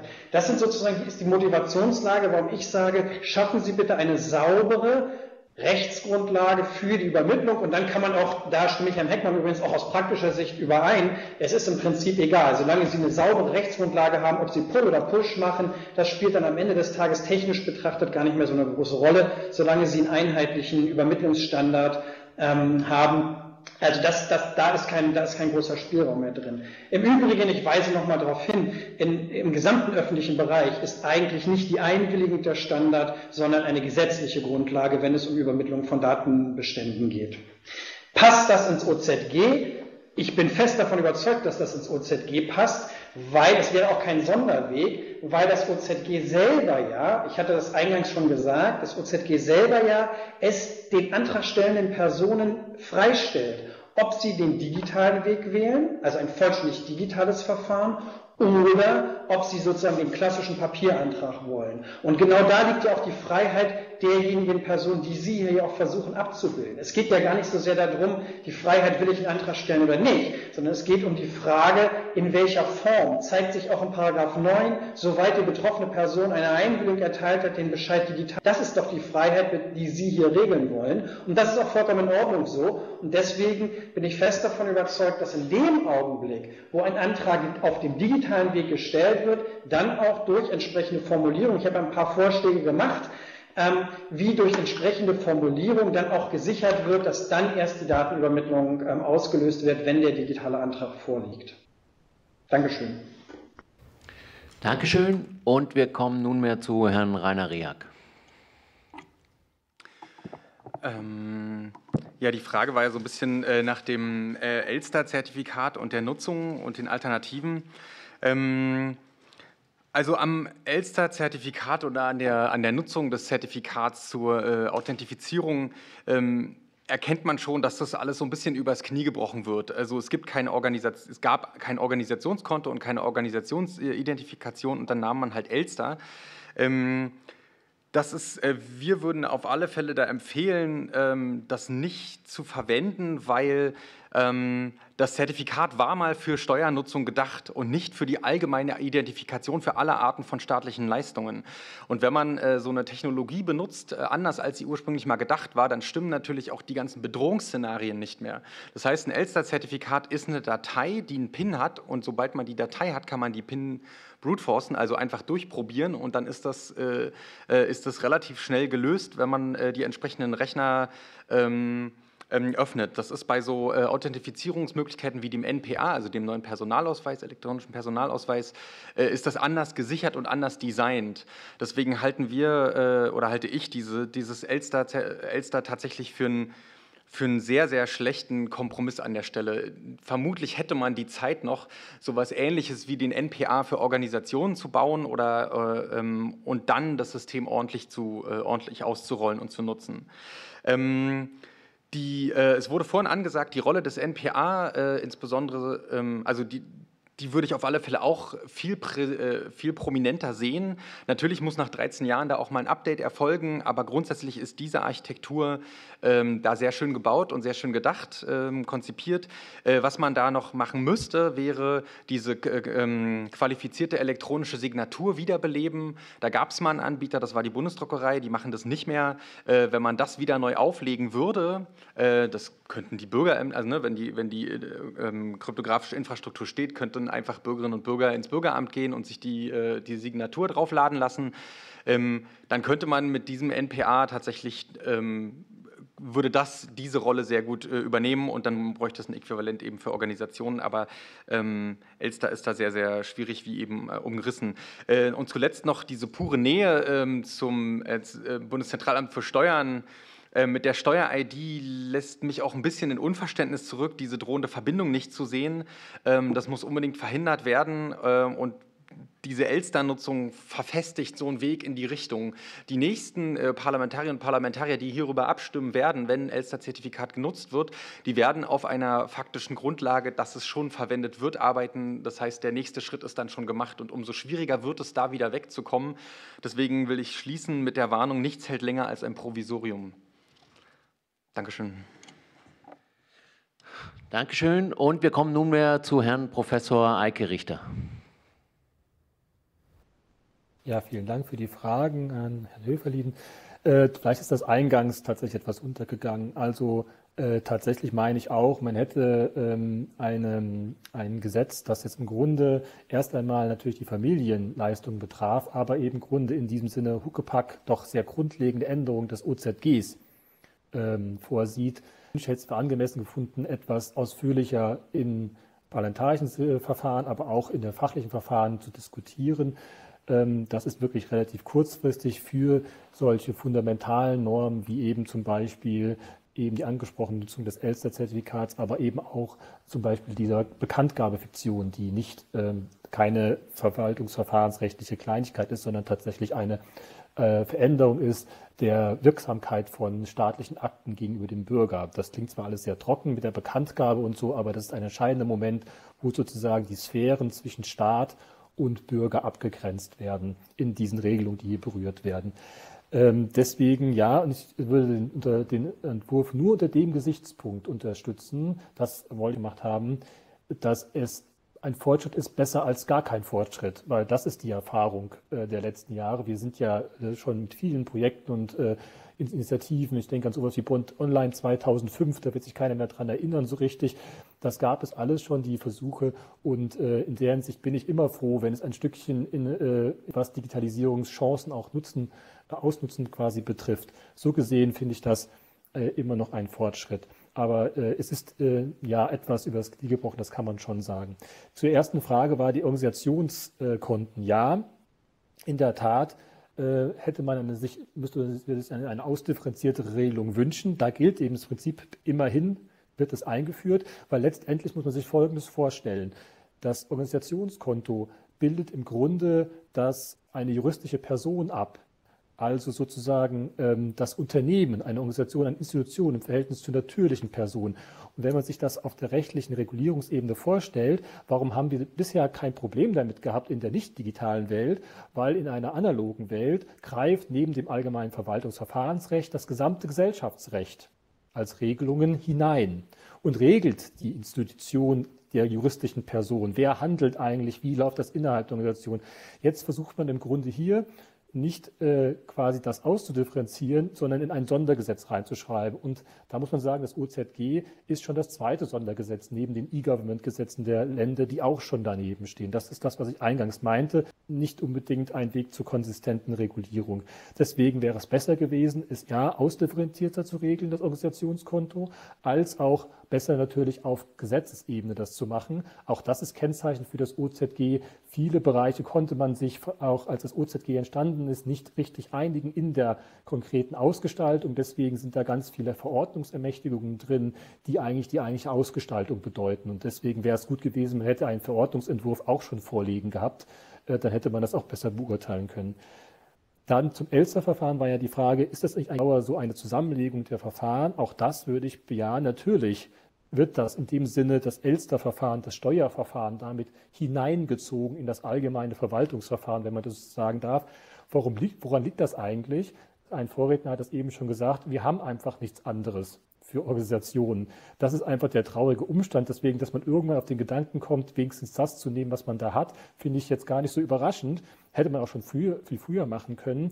Und natürlich ist es etwas, was da Digitalisierung werden Funktionen, die wir eigentlich rechtlich getrennt haben, nämlich verschiedene Verfahren mit verschiedenen rechtlichen Regelungen, verschiedene Institutionen über die Digitalisierung wieder zusammengelegt. Das heißt, die Funktionentrennung, man kann auch Gewaltentrennung nehmen, nämlich einer innerhalb sozusagen der Funktionentrennung innerhalb einer Gewalt, die werden damit überspielt. Und ja, ich würde auch sagen, im Moment ist in dem Entwurf, zumindest zur OZG-Änderung, explizit gesagt, dass die Steueridentifikationsnummer nicht weitergegeben wird. Das steht da drin, äh, explizit ausgenommen.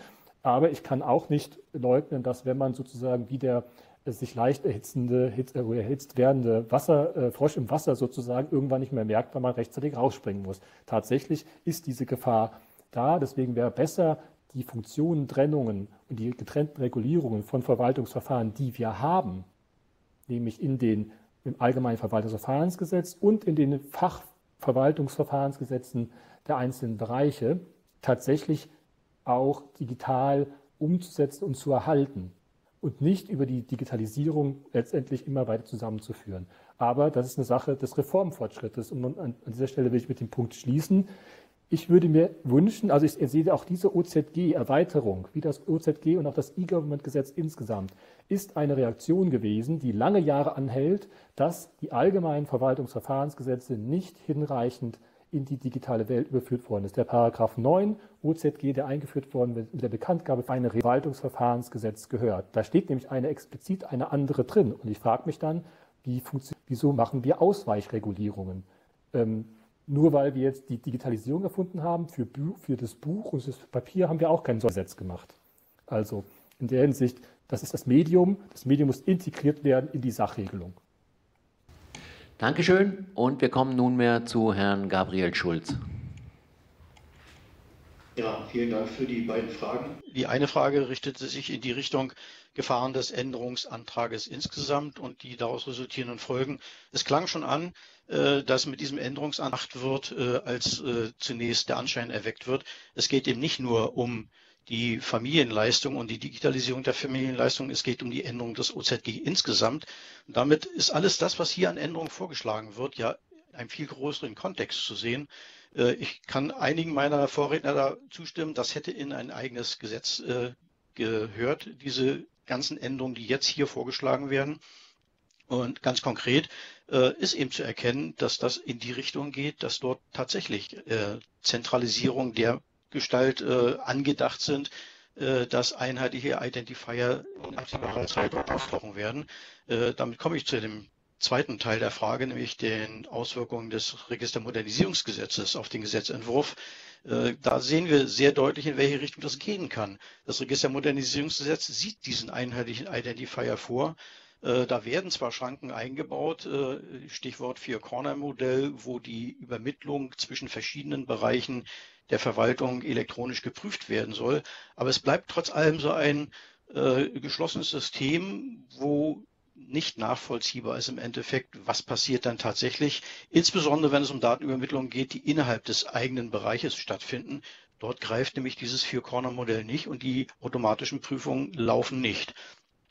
Wenn das Registermodernisierungsgesetz so verabschiedet wird, äh, ist damit zu rechnen, dass die Steuer-ID eben tatsächlich auch in den Katalog der Daten kommt, äh, der jetzt äh, diskutiert wird.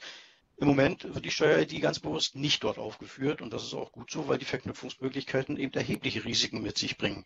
Die Gefahr sehe ich ganz einfach und die ist auch ganz realistisch. Ich habe vorhin den Beschluss des IT-Planungsrats von wenigen Tagen zitiert, der sehr deutlich sagt, für alle OZG-Leistungen sollen die Datenschutzvorgaben, die im Registermodernisierungsgesetz angedacht sind, umgesetzt werden. Also es ist erklärtes Ziel, genau das zu tun. Wir sehen da eine ganz große, eine ganz große Gefahr, dass einfach grundrechtswidrige Regelungen geschaffen werden. Denn nicht umsonst äh, hat das Bundesverfassungsgericht zu wiederholten Male und immer wieder gesagt, welche Risiken mit einheitlichen Personenkennziffern verbunden sind. Äh, nur nebenbei, äh, dass der Big Brother Award äh, für das äh, gesamte Vorhaben Registermodernisierungsgesetz an die Innenministerkonferenz ausgerechnet in der Kategorie Geschichtsvergessenheit äh, erteilt wurde, ist für mich ein deutliches Zeichen, dass einfach vergessen wird, was in der Vergangenheit mit entsprechenden zentralen Personenkennzeichen möglich war. Und äh, dieses Risiko, das sollten wir immer im Blick haben. Das sollten wir im Blick haben, wenn es darum geht, die einzelnen OZG-Leistungen umzusetzen. Und dieses Risiko sehe ich gerade insbesondere auch hier bei den Familienleistungen, wo es um sehr sensible Daten geht, wo Profilbildungen ohne weiteres denkbar sind und wo dieser gläserne, die gläsernen Eltern, sage ich mal, um es bildlich zu sagen, äh, vor der Tür stehen. Dankeschön. Dankeschön. Und wir kommen direkt zur zweiten Fragerunde, beginnen wieder mit der CDU-CSU-Fraktion und äh, nein, keine Fragen. Dann fahren wir fort mit der SPD-Fraktion und Frau Kaiser. Ja, vielen Dank auch nochmal für die ja doch sehr fundierten nochmal Erläuterungen einzelner Aspekte. Ich denke auch gerade die Trennung vielleicht oder Schärfung nochmal zwischen OZG und Verwaltungsverfahrensrecht, das sollten wir uns im weiteren Prozess nochmal anschauen. Meine Frage wäre jetzt nochmal an den Berichterstatter ähm, Dr. Heckmann. Und zwar ist äh, meine Frage auch bezogen auf die Ausführungen von Herrn Dr. Karg nochmal, äh, wie, wie Sie das einschätzen, was das Einwilligungserfordernis angeht. Sie, können Sie die Bedenken, die Herr Dr. Karg geäußert hat, da nochmal nachvollziehen? Da wäre meine Frage, wie Sie das einschätzen. Und eine zweite Frage wäre auch mit Blick auf die, wir wollen ja alle, dass der gesamte Verwaltungsprozess letztendlich digital abläuft. Nur so macht es Sinn. Es wurde ja auch von mehreren Berichterstatterinnen und Berichterstattern erwähnt, dass es keinen Sinn macht, nur Zugänge zu ermöglichen, sondern eben genau die Verwaltungsprozesse als solche zu digitalisieren. Und da hat ja auch Dr. Karg ausgeführt, dass ähm, es wichtig wäre, in diesem Zusammenhang auch das Postfach und das Basis Nutzerkonto verpflichtend äh, einzuführen, um eben auch einen medienbruchfreien Vorgang zu ermöglichen und eben dann auch im Sinne einer gesamtdigitalisierten Verwaltungsleistung das Ganze abzubilden. Da würde ich auch gerne wissen, äh, wie Sie das einschätzen. Dankeschön. Wir kommen zur FDP-Fraktion und Herrn Höferlin. Vielen herzlichen Dank.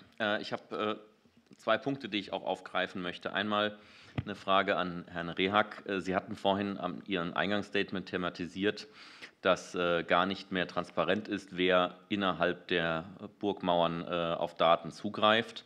Ähm, was ist denn dann da die Lösung? Ich denke da immer an, äh, an das Modell, was in Estland auch funktioniert, äh, wo Zugriffe auf Daten immer auf einem externen Protokollserver gespeichert werden, sodass man mit seiner äh, Identifier-Nummer, mit seinem Personalausweis, seiner ID-Karte, bei uns wäre es dann auch der neue Personalausweis, der Personalausweis ist ja nicht mehr neu, also der Personalausweis wie wir das neu mal abgewöhnen bei dem Personalausweis, so neu ist er jetzt wirklich nicht mehr.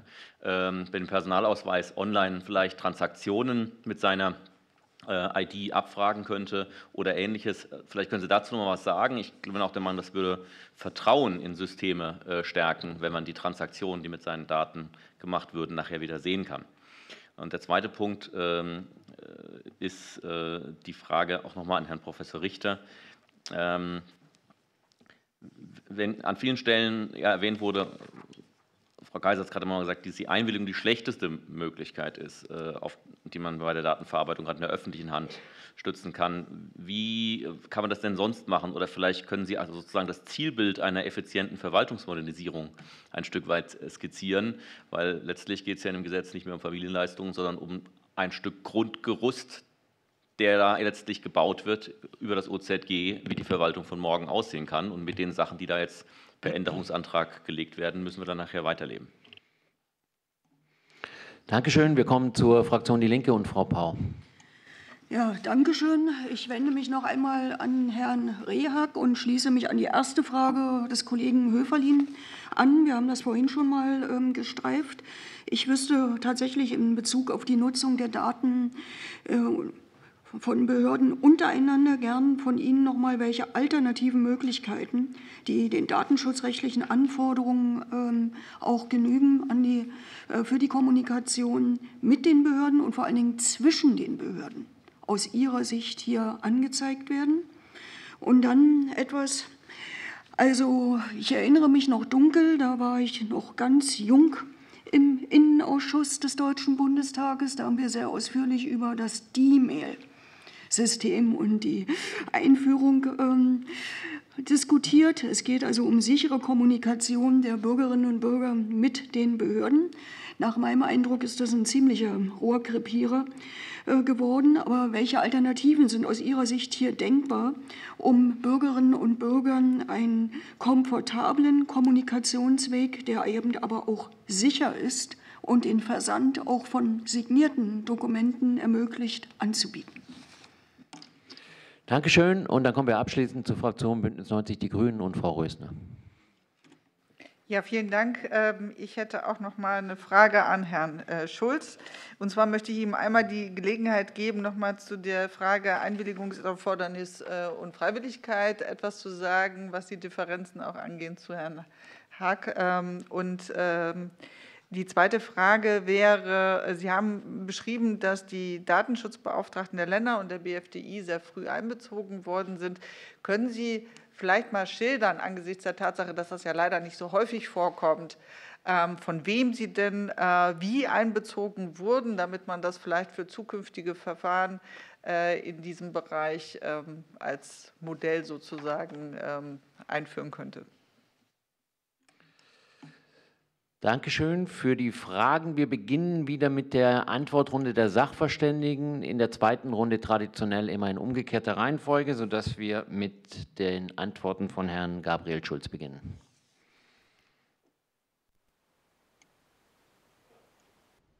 Ja, schönen Dank für die Fragen.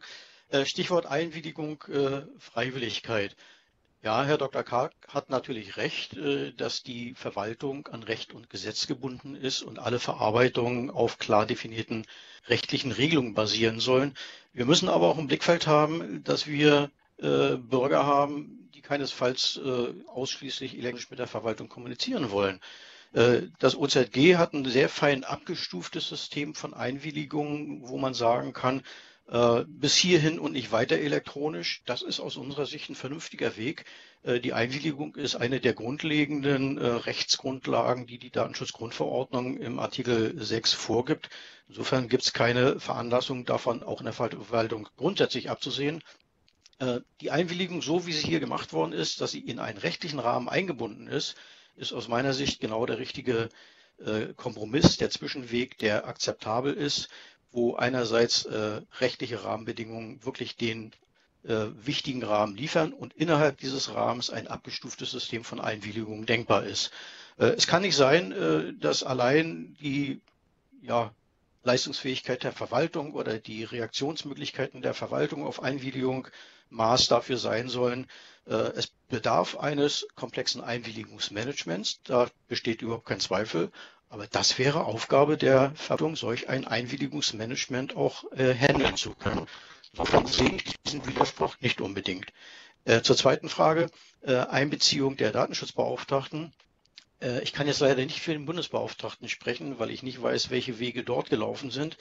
Was bei uns sehr gut funktioniert hat, war beispielsweise äh, die Kommunikationsplanungsrat. Ich bin der Vertreter der Landesdatenschutzbeauftragten im IT-Planungsrat und hatte da immer die Möglichkeiten, die Auffassung der Datenschutzkonferenz einzubringen.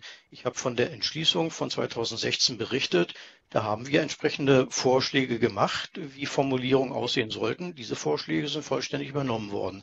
Das wäre ein Weg, äh, der aus meiner Sicht sehr vernünftig ist, auch für die Zukunft, äh, dass wir entsprechende Vorgaben formulieren, dass wir entsprechende Vorschläge machen. Das Beispiel, was ich zum Schluss noch ansprach, Wir sind jetzt dabei, auch in der praktischen Umsetzung als Datenschutzaufsichtsbehörden sehr konkret mit denjenigen äh, in den Ländern zusammenzuarbeiten, die in den einzelnen Handlungsfeldern äh, die OZG-Umsetzung auf den Weg bringen sollen. Wir werden dort entsprechende Handlungsleitfäden an die Hand geben, um den umsetzenden äh, Behörden und Stellen die Programmierung entsprechender OZG-Leistungen zu erleichtern. Wir haben ein Ansprechgremium gebildet in der Datenschutzkonferenz, was für den IT-Planungsrat, für das BMI, für die FITCO und auch für die jeweiligen umsetzenden Stellen in den Ländern äh, vorgesehen ist, um jederzeit auf Nachfragen reagieren zu können. Äh, da könnte ich mir vorstellen, dass das äh, in anderen Bereichen auch so sein sollte. Dankeschön. Dankeschön. Dann kommen wir zu Herrn Professor Eike Richter. Ja, vielen Dank äh, nochmal für die Frage. Einwilligung ist die schlechteste Lösung. Vielleicht kann ich da mal sagen, woher kommt das eigentlich mit dieser Einwilligung? Äh, und die Einwilligung ist ein zentrales Instrument immer schon gewesen des Datenschutzrechts, weil das Datenschutzrecht gesagt hat, man kann auf zwei Gründen äh, den Eingriff, nämlich dass die personenbezogene Daten von einer Person verwendet werden, durch den Staat auf zwei Sachen, zwei Ebenen legitimieren. Einmal, indem es im Gesetz drinsteht, dass der Staat mit den personenbezogenen Daten hantieren darf. Wenn Sie zum Beispiel in die polizeilichen Gesetze reinguckt zum Datenschutzrecht, ist das ganz häufig so, dass das per Gesetz erlaubt ist, weil sonst müsste die Polizei immer vorher erst fragen gehen. Ähm, das ist für den Einsatz meistens ziemlich ungünstig. Das heißt, der Gesetzgeber hat es legitimiert äh, und nicht eine einzelne Einwilligung des Betroffenen. Ähm, dieses Einwilligungsinstrument hat deswegen aber in ein, eine Bedeutung bekommen in alle möglichen Rechtsbereiche, die die Digitalisierung betreffen, über das Datenschutzrecht hinaus, weil diese Regelungsbereiche, nämlich zum Beispiel das Verwaltungsverfahrensgesetz oder auch das Baurecht, lange Zeit nicht digitalisiert wurden an Verfahren, sondern das Datenschutzrecht ein Stück weit diese Regulierung der Verfahren von hinten quasi übernommen hat. Dadurch ist dieses Einwilligungsinstrument reingekommen, das mittlerweile auch in ganz vielen anderen Rechtsbereichen ähm, zum Tragen kommt oder eingesetzt wird. Das können Sie schön bei der Bekanntgabefiktion sehen des Paragraphen 9 OZG. Da steht also drin, dass der Bürger einwilligen soll, dass er die Verantwortung für das Postfach übernimmt. Das heißt, ähm, Sie bekommen eine ablehnende Baugenehmigung. Ja, das Haus dürfen Sie nicht bauen. Und jetzt äh, wäre das so, Sie dürfen dann diesen Bescheid dann in das Postfach reinlegen, wenn der Bürger vorher eingewilligt haben, dass Sie das reintun. Wenn Sie sich jetzt mal das nicht digital denken, dann hätte doch eine Baubehörde nie eine Einwilligung gebraucht, einen ablehnenden Bescheid abzugeben, sondern da steht im Baugesetzbuch drin, dass eben entschieden ist, die, die Befugnis dafür besteht, die eigentlichen Akt sozusagen ähm, zu übermitteln. Das heißt, man muss die Grenze zwischen dem Umgang mit personenbezogenen Daten und dem eigentlichen Verwaltungshandeln stärker trennen. Das Datenschutzrecht hat es quasi aufgrund der Reformmüdigkeit der eigentlichen Verwaltungsbereiche faktisch übernommen, weil das Datenschutzrecht immer sehr technikgetrieben war. Aber es hat im Grunde zu Mechanismen geführt, die eigentlich für viele Rechtsbereiche nicht günstig sind. Deswegen, Einwilligung passt in vielen Rechtsbereichen gar nicht. Und was ist die bessere Lösung? Ja, eben durch Gesetz zu regeln. Das heißt, schreiben Sie, wenn Sie die Bekanntgabefiktion ins Verwaltungsverfahrensgesetz hineinschreiben, in den Paragraphen 41, in der schärferen Variante, wie es jetzt in den Paragraphen 9 geregelt ist, OZG oder geregelt werden soll vielmehr, können Sie das als Gesetzgeber reinschreiben. Dann ist die Frage, ob das verfassungsrechtlich konform ist, aber die Legitimation erfolgt dadurch, dass es eben der Gesetzgeber gemacht hat und es eben nicht auf einer Einwilligung des Betroffenen beruht. Das ist kein öffentliches Recht, das ist kein Verwaltungsrecht mehr, weil sie auch sonst nicht überall einwilligen müssen, bevor der Staat handelt. Dafür gibt es ja das Parlament. Das heißt, die bessere Lösung ist ganz einfach. Keine nicht reinschreiben ins Gesetz, es braucht eine Einwilligung, sondern ins Gesetz hineinschreiben, was der Staat tun darf. Das ist ganz einfach. Das Gesetz muss selber die Inhalte regeln. Und dieses Instrument der Einwilligung, das ist nur etwas, was spezifisch, besonders im Datenschutzrecht, besonders entwickelt war, weil es dort um personenbezogene Daten geht. Und eine Nebenbemerkung nochmal, ähm, äh, weil das gesagt worden ist, die E-Mail-Gesetz. Jeder hat da seine eigene Historie und Erfahrung. Man kann auch noch ans Signaturgesetz denken. Genau das ist das, was ich vorhin meinte. Hier ist eine lange Periode von Versuchen, Technik einzusetzen, über Technik sich inspirieren zu lassen und Technik zu regulieren, statt eigentlich die Verwaltung zu regulieren und zu überlegen, wie wir die Technik dort in Gang setzen können, um das nicht technische Ziel, gute Verwaltung, Baugenehmigung, Familienleistungen übermitteln, Elterngeld, was weiß ich was, genau das zu regulieren. Und das finde ich besonders bei diesem Vorgang markant, nämlich der kommt eigentlich von einer sehr fachlichen Seite her, nämlich von den Familienleistungen her. Wunderbar, da wird tatsächlich die eigentliche Verwaltung reguliert und jetzt wird es aufgeladen mit einem ganz allgemeinen und dann aber auch wieder sehr technisch und außerhalb des eigentlichen Regelungsbereichen äh, regulierten Grundsätzen. Deswegen mein Hinweis an der Stelle, Antwort auf die Frage, ja, eine ist eine schlechte Lösung, was die bessere regelt die Kerngesetze, die wir haben. Verwaltungsverfahrensgesetz, äh, die Fachverwaltungsverfahrensgesetze, dieses Baugesetzbuch, das Emissionsschutzgesetz, all die Gesetze, die die eigentliche Verwaltung und ihre Aufgaben regulieren. Keine weiteren Technikgesetze, die dann verdeckt doch Verwaltungsverfahren regulieren, wie hier. Dankeschön. Dann kommen wir nunmehr zu Herrn Rainer Rehag. Äh, die Frage war ja bezüglich, ich ziehe die mal so ein bisschen zusammen, die beiden, äh, bezüglich der Absicherung von Abfragen innerhalb und zwischen Behörden. Ähm, also im Groben würde ich da auf zwei Sicherungsmaßnahmen hinweisen wollen. Äh, das erste ist überhaupt die Signierung des Auftrages durch die Bürgerinnen unter den Bürger. Das heißt, sobald überhaupt die Abfrage losläuft, wenn wir eine Signaturinfrastruktur hätten, Infrastruktur hätten, äh, wäre es natürlich möglich, dass das, äh, der Portalverbund sozusagen losläuft zu den verschiedenen Behörden und sagt, ich brauche gern das und das und das aber das will ich nicht einfach selber wissen, sondern hier ist der Auftrag des Bürgers oder der Bürgerin. Und das natürlich von der Rechtfertigung äh, würde sich dann so eine Rechtfertigungskette ergeben. Gleichzeitig auch bei der Übermittlung ähm, ähm, äh, dann der gesammelten Dokumente hin zu den äh, verantwortlichen Behörden, die das dann bearbeiten. Äh, zu, der nächste Punkt wäre eine entsprechende Signierung der Behörden selbst, die dann ihre Aktivitäten, immer bei ihren jeweiligen Aktivitäten, ihren Stempel nochmal mit dranhängen, ihren digitalen Stempel, wie sie es ja im Analogen auch machen. Ähm, und ähm, das wäre so der eine Aspekt. Der zweite Aspekt wäre ähm, sowas äh, wie die Transaktionstrackings bei externen Protokollservern, was angesprochen worden ist. Das ist auch eine weitere Möglichkeit, auch nachvollziehbar zu machen, wer was gemacht hat, um dann äh, auch Verantwortlichkeiten, wenn mal was schiefläuft, irgendwie rekonstruieren zu können. Ähm, und es ist auch möglich, zum Beispiel bei benötigten Daten, das muss man je nach, äh, je nach Verwaltungsvorgang nochmal äh, überprüfen, ähm, ob man eventuell nur benötigte Daten weitergeben kann. Was bedeutet sowas wie aggregierte Daten? Ist das Gesamteinkommen möglich? Dann müssen natürlich nicht die, gesamten, äh, die gesamte Finanzsituation offengelegt werden, äh, sondern nur das Gesamteinkommen oder sowas wie ähm, ist die Person älter als und bekommt damit die und die Zuschreibung, dann muss eben nicht das Geburtsdatum übermittelt werden, sondern eben nur, ist sie älter als ja, nein, sowas in die Richtung. Die zweite Möglichkeit ist, ähm, die äh, Interoperabilität zwischen den Behörden absichtlich schwer zu machen. Das ist ja grundsätzlich immer eine Idee der Gewaltenteilung und äh, deswegen ist auch die Frage der Steuer-ID und der Registermodernisierung so wichtig. Ähm, denn im Datenschutz ist ja im Gegensatz zur IT-Sicherheit äh, Haupt Gefahrenquelle der Verarbeiter selbst und nicht externe. Das heißt, wenn es möglich ist, diese Abfragen der, der Behörden untereinander zu erschweren in gewisser Hinsicht, dann kann man da äh, eben ähm, die, die ähm, nicht gewollten Abfragen unterbinden. Das heißt, wenn zum Beispiel der Portalverbund von verschiedenen Behörden bereichsspezifische Kennzeichen für ein spezielles Nutzerkonto bekäme, also ich jetzt von der Elterngeldstelle und so weiter, von denen bekomme ich bereichsspezifische Kennzeichen für meinen Account da, dann kann das Portalverbund diese bereichsspezifischen Kennzeichen zusammenführen und dann jeweils mit den Behörden, die da relevant sind, kommunizieren aber es gäbe dann eben keine Steuer-ID, mit der die Behörden untereinander mal kurz anfragen können, weil sie gar nicht wüssten, nach wem sie überhaupt fragen sollen. Sie können vielleicht nach Namen fragen, dann können sie nach Herrn Müller fragen, aber so, das ist eben nicht zuverlässig und aus IT-Sicht ist das eben, äh, würde man das nicht machen. Äh, und dann würden solche Fehler, das heißt, diese Möglichkeit würde dadurch stark reduziert werden. Ähm, ähm, das wären so, die, das wären so ähm, sozusagen so ein, so ein Strauß von Möglichkeiten.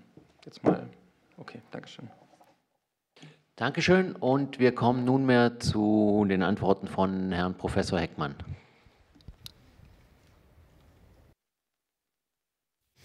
Ja, vielen Dank für die zwei Fragen, die mir Gelegenheit geben, das, was ich im Eingangsstatement ausgeführt habe, auch natürlich in der schriftlichen Stellungnahme etwas genauer nochmal hier auf den Punkt zu bringen, auch vor dem Hintergrund dessen, was meine geschätzten Kolleginnen und Kollegen, Sachverständigen heute hier ausgeführt haben. Zunächst mal zu der Frage, ob man so etwas wie das OZG-Postfach verpflichtend einführen sollte für die Bürgerinnen und Bürger. Da bin ich strikt dagegen. Wir hätten so etwas wie aufgedrängtes E-Government, was nach der derzeitigen Lage verfassungsrechtlich überhaupt nicht haltbar wäre. Wir haben einfach nur nicht die Situation, dass alle Bürgerinnen und Bürger über die gleichen Voraussetzungen auf, äh, verfügen, in technisch-organisatorischer Hinsicht, auch in kognitiver Hinsicht. Da haben wir einfach ein sehr äh, äh sozusagen differenziertes Bild unserer Bevölkerung. Das, was der E-Government-Monitor eben von D21 und der TU München ja jedes Jahr auch wirklich zeigt, die verschiedenen Nutzertypen, die sind sehr heterogen und das können wir nicht einfach vereinheitlichen, indem wir uns einfach einen Wunschbürger bilden und sagen, der muss das jetzt alles genauso machen, wie der Gesetzgeber sich das ausdenkt. Dafür, dafür ist unsere Gesellschaft viel zu heterogen und da brauchen wir noch eine Zeit lang, bis wir hier das einheitlich regeln können. Also kein aufgedrängtes E-Government, keine verpflichtende äh, Einführung der Nutzung bestimmter digitaler Leistungen äh, für Bürgerinnen und Bürger. Nichtsdestotrotz haben wir natürlich die spannende Frage, wie es jetzt aussieht mit der Einlegung als Instrument. Das ist jetzt vielfach angesprochen worden von verschiedener Seite. Und da ist es zwar grundsätzlich richtig nach dem Datenschutzrecht, dass wir hier verschiedene Rechtfertigungsmöglichkeiten haben in Artikel 6 der DSGVO, sowohl die gesetzliche Grundlage einerseits als auch die Einlegung andererseits. Normalerweise plädiere ich auch dafür, dass man das durchaus differenzieren sollte, entweder Gesetz oder Einlegung. Es kann hier und da tatsächlich Probleme geben, wenn man das vermischt. Aber in unserem riesigen Gesetzpaket sehe ich das anders und es gibt sehr, sehr gute Gründe für das hier gewählte Konzept, das ich ausdrücklich verteidigen möchte und auch für den richtigen Weg halte. Warum? Wir müssen nämlich unterscheiden äh, die Frage, ob bzw. dass Daten erhoben werden von der Frage, wie Daten erhoben werden. Dass Daten erhoben werden dürfen, selbstverständlich, wenn ich Anträge stelle bei der Verwaltung, die dann eben zur Prüfung der gesetzlichen Grundlage Daten brauchen, ist eine Selbstverständlichkeit und das gehört auch in das Gesetz hinein. Ich kann niemals als Bürgerin oder Bürger verlangen, dass ich sage, Datensparsam, du kriegst keine Geldbescheinigung, aber gib mir trotzdem schon mal das volle Elterngeld. Das geht natürlich nicht, das wäre ja klar. Aber die Frage ist doch hier nicht, dass überhaupt bestimmte Daten in bestimmten Kontexten gesetzlich natürlich zu nutzen legitimiert ist, sondern wie das im konkreten Fall geschieht. Hier nämlich auf elektronischem Wege in einem ganz bestimmten äh, Verbund sozusagen von Datenabrufen, Übermittlungsmöglichkeiten, also eine ganz bestimmte äh, digitale Lösung wurde hier gewählt. Und hier haben wir ja keine Besonderheit, zumindest jetzt auch in den nächsten Jahren in einer Übergangszeit, dass wir den Bürgerinnen und Bürgern ein Wahlrecht einräumen müssen. Und dieses Wahlrecht, das, das üben sie dahingehend aus und auch die Freiwilligkeit in diesem Kontext, dass sie eben entscheiden können, ja, ich mache das doch auf klassischen Wege oder ich entscheide mich hier für die ganz konkrete digitale Lösung und das ist eben der Sinn hinter dieser jeweiligen Einwilligung. Und interessant ist ja, dass normalerweise die Datenschutzbeauftragten ja sehr stark drängen auf Datensparsamkeit, wenn es mildere Mittel gibt sozusagen, die weniger datenintensiv sind, wie natürlich viele digitale Prozesse mehr Daten erheben, auch an Metadaten beispielsweise, äh, wie dies im, im Papierwege der Fall ist. So gesehen müssen wir doch eher hier aus Sicht des Datenschutzrechts eben hier dafür sorgen, dass wir hier eben ein entsprechend datensparsames Verfahren haben. Und Herr Schulz hat das ja ausdrücklich auch hier erwähnt. Ich möchte mich auch seinen Ausführungen in diesem Punkt, was die Einwilligung betrifft, ausdrücklich anschließen. Und ähm, wir haben ja hier auch eine Stellungnahme zum Beispiel des Bundesbeauftragten für den Datenschutz und Informationsfreiheit, sowohl zum OZG im Jahr 2017 als auch in seinem 28. Tätigkeitsbericht 2019, wo er ausdrücklich plädiert auch für eine Schritt-für-Schritt-Antragstellung. Also im Grunde genommen das auch aufgreift und sagt, ja, es ist doch gerade sinnvoll, auch aus Sicht der Transparenz, wenn die Bürgerinnen und Bürger bei diesen Antragstellungen dann sich durchklicken durch die einzelnen Schritte und dass man bei dieser Gelegenheit dann jeweils auch einen Klick macht im Hinblick auf die Einwilligung, ist aus meiner Sicht überhaupt kein Problem. Es ist eine Frage der Gestaltung des Einwilligungsmanagements. Auch daraufhin hat Herr Schulz ausdrücklich hingewiesen. Das ist technisch umsetzbar. Das ist im Grunde genommen nicht der Aufwand, den Herr Karg hier am Anfang äh, äh, quasi hier prophezeit hat. Ich glaube, die Frage der technischen Gestaltung ist sehr, sehr wichtig, äh, das gebe ich zu. Das kann man auch sehr schlecht machen. Wenn es aber gut gemacht ist, haben wir hier ein passables Einwilligungsmanagement, das diesen Anforderungen der Datenschutzgrundverordnung auch absolut entspricht. Und es geht auch konform mit dem Datenschutzcockpit, das ja nun wirklich auch wohl einhellige Meinung ist, wie sinnvoll das ist, auch aus datenschutzrechtlicher Sicht, dass ich als Bürgerin oder Bürger genau sehe, wer hat gerade was an Daten von mir verarbeitet, zugegriffen, übermittelt und so weiter. Und in diesem Kontext befasse ich mich natürlich schon mehr, wenn ich solche Portale nutze, solche Postfächer nutze, als es vielleicht bislang der Fall war, mit solchen Vorgängen. Und das dient ja auch letzten Endes darum, den Bürgerinnen, Bürgerinnen oder den Bürger aktiv einzubeziehen in das Geschehen. Auch das ist datenschutzrechtlich meines Erachtens genau der richtige Weg. Man darf auch eines nicht vergessen. Würden wir das nicht so machen, dann hätten wir ein ganz großes Problem. Wir würden nämlich dann im Grunde genommen solche Postfächer einrichten oder solche OZG-Nutzerkonten einrichten und die Bürgerinnen und Bürger überzeugen, das ist gut, Digitalisierung ist prima, nutzt das bitte. Aber wenn ihr das einmal eingerichtet habt, hat leider der Gesetzgeber entschieden, dass jetzt alles äh, Kraft Gesetzes elektronisch läuft und ihr könnt das gar nicht mehr steuern oder könnt gar nicht mehr differenzieren. Es mag aber sein, dass ich vielleicht bei den Familienleistungen sage, prima, das finde ich ein gutes Verfahren, dann möchte ich das elektronisch genauso handhaben und klicke entsprechend auf die Einwilligungsbuttons.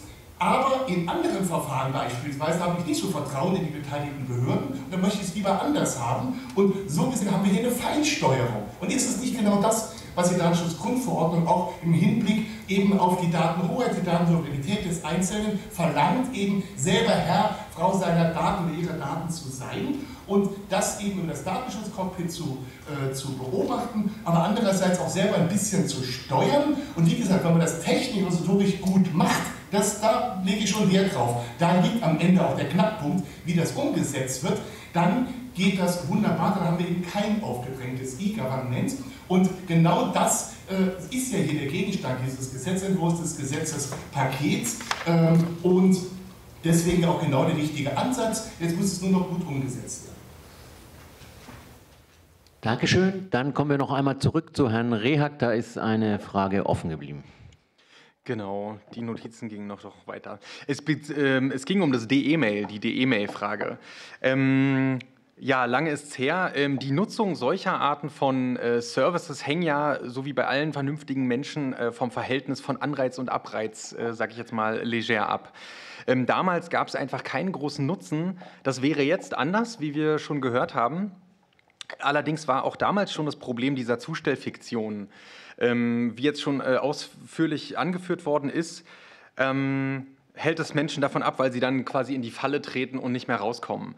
Ähm, da lässt sich natürlich ähm, äh, ließe sich, ließen sich ja Alternativen äh, ähm, erstellen. Also in einem wenn man da kurz drüber nachdenkt, könnte man ja überlegen, äh, ob der nach der Postal, nach einer äh, Zustellung oder einer nicht erfolgenden Zustellung in digitaler Form nach fünf Tagen dann eine postalische ausgelöst wird oder so etwas, wo dann eben ähm, äh, diese Art von Ängsten dann eben auch begegnet wird, sinnvollerweise.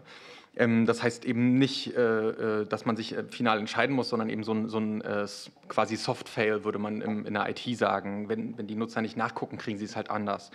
Ähm, ein zweiter Punkt natürlich, dass, äh, dass vielleicht noch ein Anreiz zu geben ist, ähm, wäre das nicht in so einer, in so einer selbstgebauten Postfachart und Weise äh, zu machen, wie es aktuell zum, ja auch schon gemacht wird, teilweise in NRW oder so gibt es die ja schon bei den Servicekonten, ähm, diese Postfächer, äh, wäre sowas wie den äh, EU-E-Delivery-Standard äh, zu be bequemen. Das habe ich vorhin schon mal angesprochen.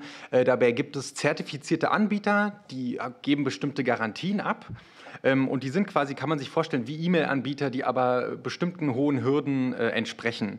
Die sind dann interoperabel äh, und sogar auch innerhalb der EU. Das heißt, man könnte nicht nur denken, wie machen das vielleicht äh, Bund und Länder und Kommunen, sondern was ist denn mit anderen Ländern, was ist denn mit anderen Stellen in der EU? Das würde dann sogar auch funktionieren und das wäre auch ein ganz klarer Mehrwert für diverse, diverse ähm, Use Cases.